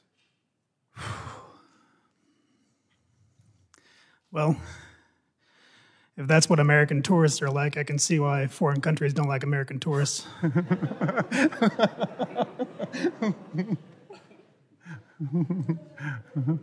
but I can see why someone would take issue with the uh, title of terrorist. It's gained a lot of uh, notoriety in our vocabulary in the past few decades. And uh, we like to believe that no, that couldn't happen here. No, no domestic terrorism, no homegrown threats. But I came prepared. U.S. Code, Title 18, Part 1, Chapter 113, B as in Brown, Section 2331.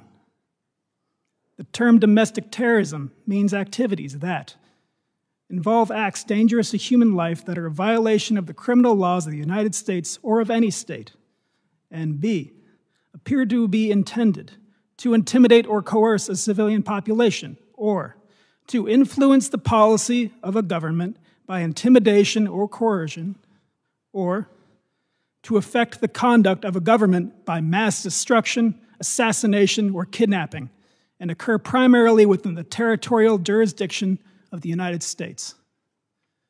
Well, thank you for that. And um, I had one final question for Sergeant Gonell, but it looks like my time is up, so I'll yield back to you. Chair will give the gentleman opportunity to ask Thank question. you for your indulgence, uh, the, the, Mr. Chairman.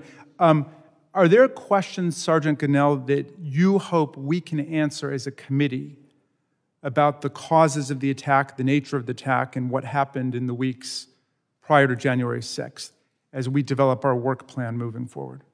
I think, in my opinion, um, we do need to get to the bottom of it. Who incited, who brought those people here, why the people were made to believe that the process was rigged along those lines. Um, but going back to what Hodges says, uh, I had, in my 15 years of service, I had given thousands of, uh, I had given tour to thousands of people at the Capitol as an officer, as a sergeant, and even in plain clothes uniform. Um, at no point in time did I ever get got attacked. I don't know why. How will you call an attack on police officer a tour? when you see me bleeding my hands, when you see other officers getting concussion, getting maimed, getting fingers uh, shattered, I got gouged. It's undescribable. You defending the undefensible. And it demoralized not just the rank and file, but the future future recruits that we are trying to get. So what will you what do you think people considering becoming law enforcement officers think when they see uh, elected leaders downplaying this. You know, why would I risk my life for them when they don't even care? They don't care what happened to the public. They don't care what happened to the officers. All they care is their job, their position.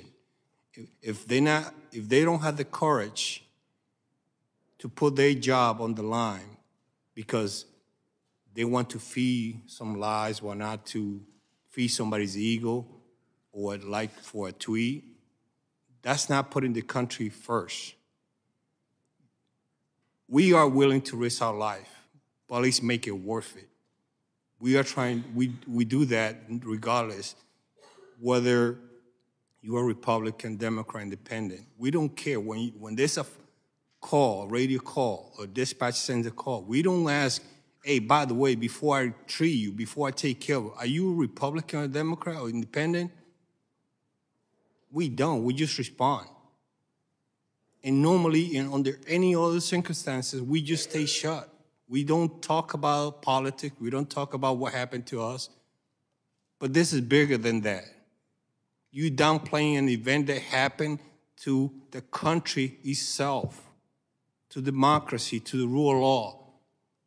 You're talking about people who claim that they are pro law enforcement, pro police, pro law and order. And then, yet, when they have the chance and the opportunity to do something about it, to hold people accountable, you don't. You pass the bucket like nothing happened. And, and it's so devastating for recruiting.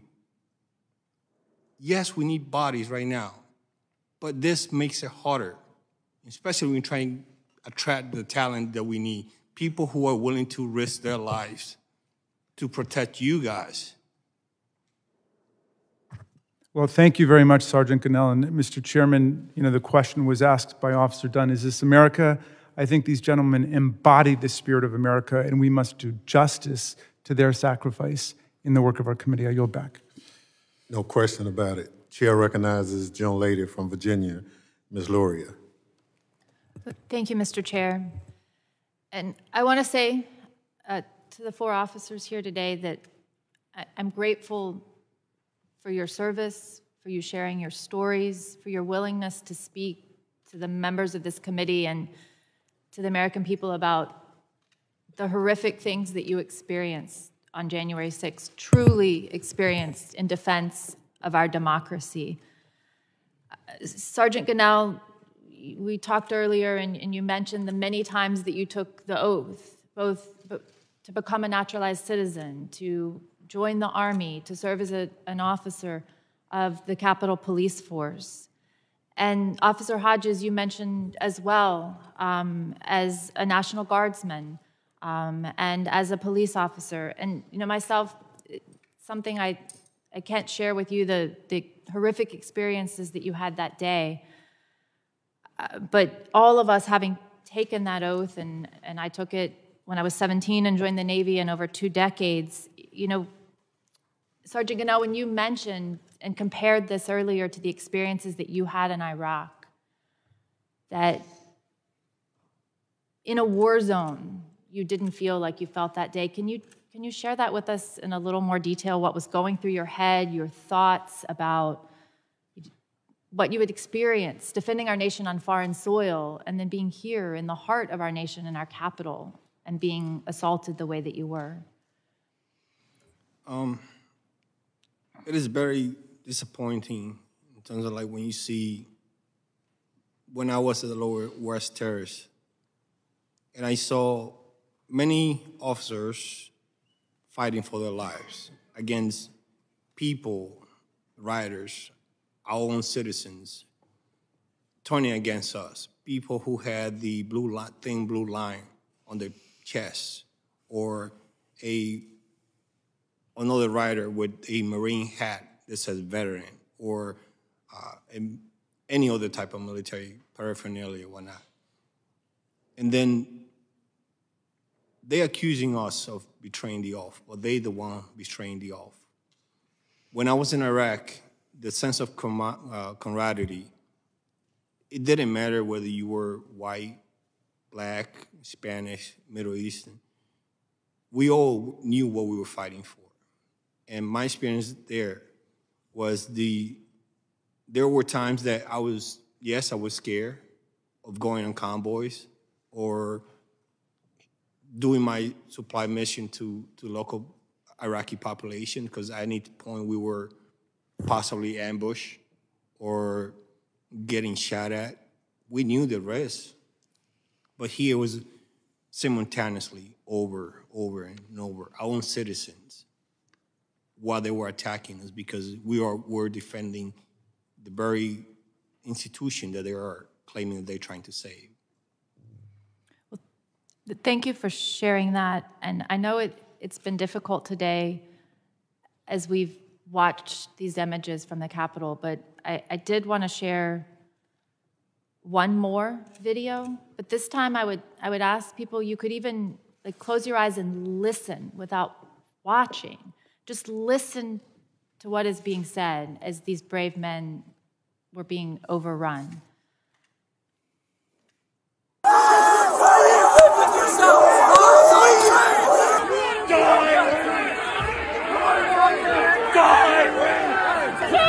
You should be mad too! Fucking You're on the wrong side of freedom! You're on the wrong side!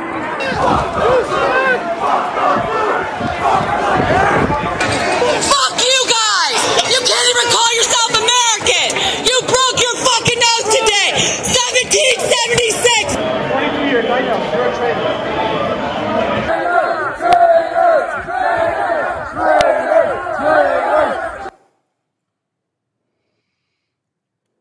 So, Officer Fanone, I, I, I wanted to turn to you. And when you hear the rioters chanting things in this video, things like F the blue, you can't even call yourself an American, you're on the wrong side of freedom, can, can you share how that makes you feel?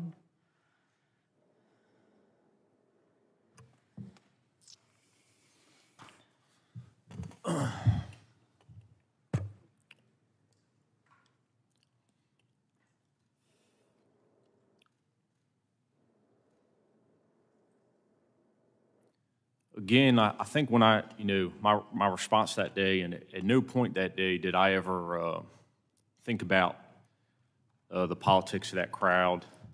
Uh, even the things that were being said did not resonate uh, in the midst of that chaos.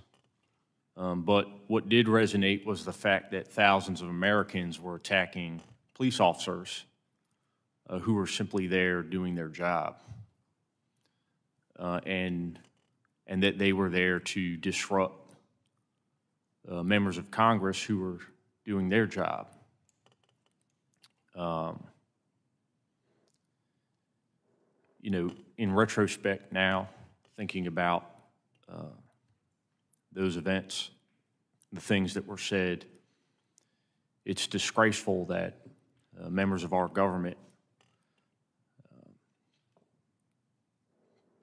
I believe were uh, responsible for uh, inciting that behavior uh, and then continue to propagate those uh, statements. Things like, um, you know, this was the 1776, uh, or that uh, police officers who fought uh, risked their lives, and some who gave theirs were uh, redcoats um, and traitors. Uh, to me, those individuals are, uh, you know, representative of the worst that America has to offer.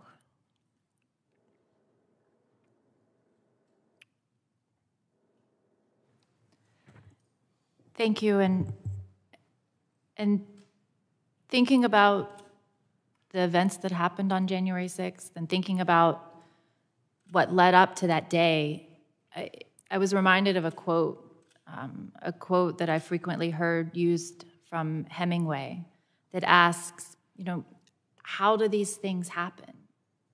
How do things like this happen? And that quote, it's very short. It just says, gradually and then suddenly. And I think that our founders understood that our republic was very fragile and it would be tested. And it was tested here on January 6th. You know, in 20 years, I, I don't want to look back on this moment and think that we saw these signs coming gradually, that these were signs that we ignored, that signs that people thought were just isolated incidents or, or signs of things that we thought could never happen. And, and I don't want to say to my daughter or Sergeant Gonell to your son or Officer Fanone to your four daughters, I don't want any of us to say that this happened gradually and then suddenly. And that, that some were just too worried about winning the next election to do something about it or too cowardly to seek the truth. So that's the task before this committee. I'm sure that we'll be attacked by cowards, by those in the arena, those only in the stands, and that we'll be attacked by people who are more concerned about their own power than about the good of this country. But, but my oath, your oath, all of our oaths here today to protect and defend the Constitution against all enemies, foreign and domestic, will be our guiding light for this investigation. And as Officer Dunn said earlier, you said we can never again allow our democracy to be put in peril. So I will say that, that we will persevere, we will do what is right, and our nation is truly ever grateful to you who held that line. Your actions on January 6th could very well have been what saved our democracy, and we thank you.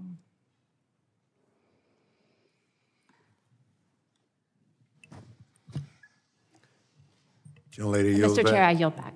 Thank you. Uh, The gentleman from Maryland asked a question in terms of uh, what uh, you would expect this committee uh, to do uh, in our body of work. Uh, The Sergeant Grinnell, Grinnell responded, but we didn't give the other uh, three members an opportunity uh, to kind of tell us, based on uh, the last 202 days of your life, what would you uh, task this committee uh, in its body of work? What would you like to see us do? Uh, Officers Fanone, I'll start with you. Uh, yes, sir. So while I understand that there have been uh, investigations uh, into the events of January 6th, uh, my understanding is that those have addressed uh, some of the micro level uh, concerns, that being the immediate security of the Capitol building itself, uh, also the forced mobilization of officers that day, planning and preparation, and training and equipment concerns. Uh, a lot of, you know, the events of January 6th uh, and the days preceding uh, I guess it's in, it's interesting, in from a law enforcement perspective, uh, as a police officer, a lot of these events happen in plain sight. Uh, we had violent political rhetoric.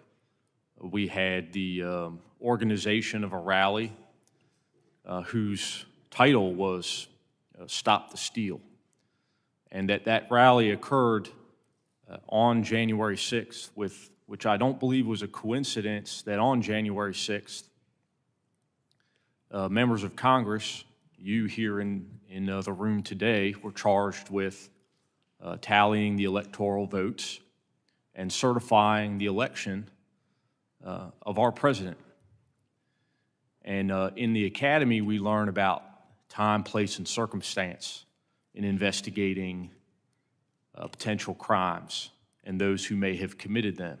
And so the time, the place, and the circumstances of that rally, that rhetoric, and those events, to me, leads in the direction of our president and other members uh, not only of Congress and the Senate, uh, but that is what I am looking for, is an investigation into those actions and activities uh, which may have resulted in the events of January 6th, and also whether or not there was collaboration between those members, their staff, and these terrorists.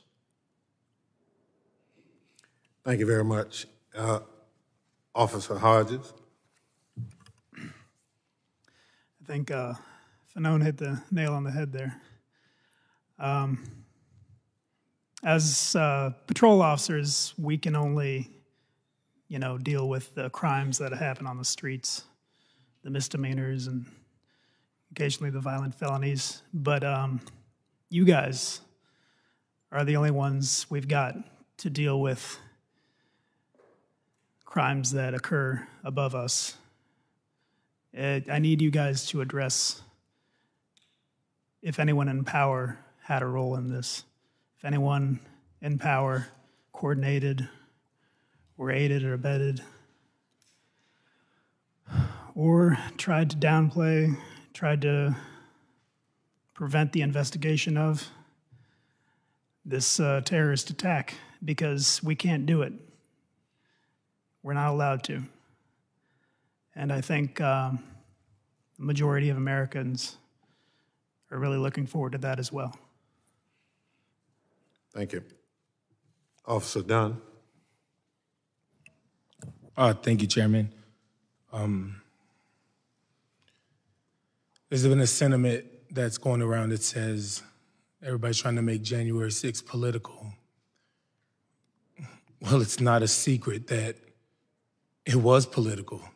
They literally were there to stop the steal. So when people say it shouldn't be political, it is. It was and it is. There's no getting around that. Telling the truth shouldn't be hard. Fighting for fighting on January 6th, that was hard. Showing up January 7th, that was hard. The 8th, the 9th, the 10th, all the way till today, that was hard. When the fence came down, that was hard. We lost our layer of protection that we had, and the fence came down, and still nothing has changed. Everything is different, but nothing has changed. Liz Cheney and Adam Kinzinger are being lauded as courageous heroes. And while I agree with that notion, why? Because they told the truth? Why is telling the truth hard? I guess in this America, it is. Us four officers, we would do January 6th all over again. We wouldn't stay home because we knew it was going to happen. We would show up. That's courageous. That's heroic. So, what I ask from you all is to get to the bottom of what happened. And that includes, like, I echo the sentiments of all of the other officers sitting here. I use an analogy to describe what I want as a hitman. If a hitman is hired and he kills somebody, the hitman goes to jail. But not only does the hitman go to jail, but the person who hired them does. There was an attack carried out on January 6th, and a hitman sent them. I want you to get to the bottom of that. So, thank you. Well, uh, thank you. Very powerful comments, by the way. Uh, Chairman Thompson? Yes. If I may, if I may add, uh, I also would like to also for you guys to give us the tools, or at least the things we need to succeed, to continue to protecting you guys. It's, uh, I think that's essential uh, for you guys to provide us what we need in terms of like financially. Um, I don't know, I'm not part of the innuendo about how that process works, but perhaps fortifying fortifying the Capitol, that will help. I know we were literally desperate. If we had that, that would have made a big difference on January 6th. I know people want to keep this place open to the public as much as possible, but there are things that we could do to remediate that and also, or to reinforce entrances, whatnot. Uh, it's hard, but it takes will. I know Cap- tell that Capitol has some regulations whatnot, but the time had passed. We still have security measure from 20 years ago. That had to go. We need to reinvent the wheel and change that. But only you guys have the power to authorize that. They won't do unless you guys do. The same. The other thing is, we still only operating on certain things that we could adjust, things that we were doing back in when 9/11 happened. We're still doing it today, even six months after the attack on the Capitol. But only you, perhaps with the chief of police, the new chief of police, which he seems uh, receptive to some of these changes, perhaps that would change. But we just like Officer Dunn said, we still doing things that prior January 6th we were doing it, and we're still doing it today. And I think that should change. Thank you. Well, again, thank all of you for your, your testimony, and obviously you are real heroes in this situation. Uh, what you did in, in the committee's uh, opinion helped preserve this democracy. The time you gave for reinforcements to finally get to the Capitol made the difference. Uh, so for that, we thank you. But you carried out your duties at tremendous risk. Now we on this committee have a duty, however, a far less dangerous one, but an essential one, to get to the bottom of what happened that day. We cannot allow what happened on January 6th to ever happen again. We owe it to the American people. We owe it to you and your colleagues, and we will not fail, I assure you, in that responsibility. Thank you again to our witnesses, uh, as well as our distinguished colleagues of the committee. Uh, any closing remarks? Without objections, members will be permitted 10 business days to submit statements for the record, including opening remarks and additional questions for witnesses to appropriate staff at all meetings of the Select Committee. Without objection, the committee stands adjourned.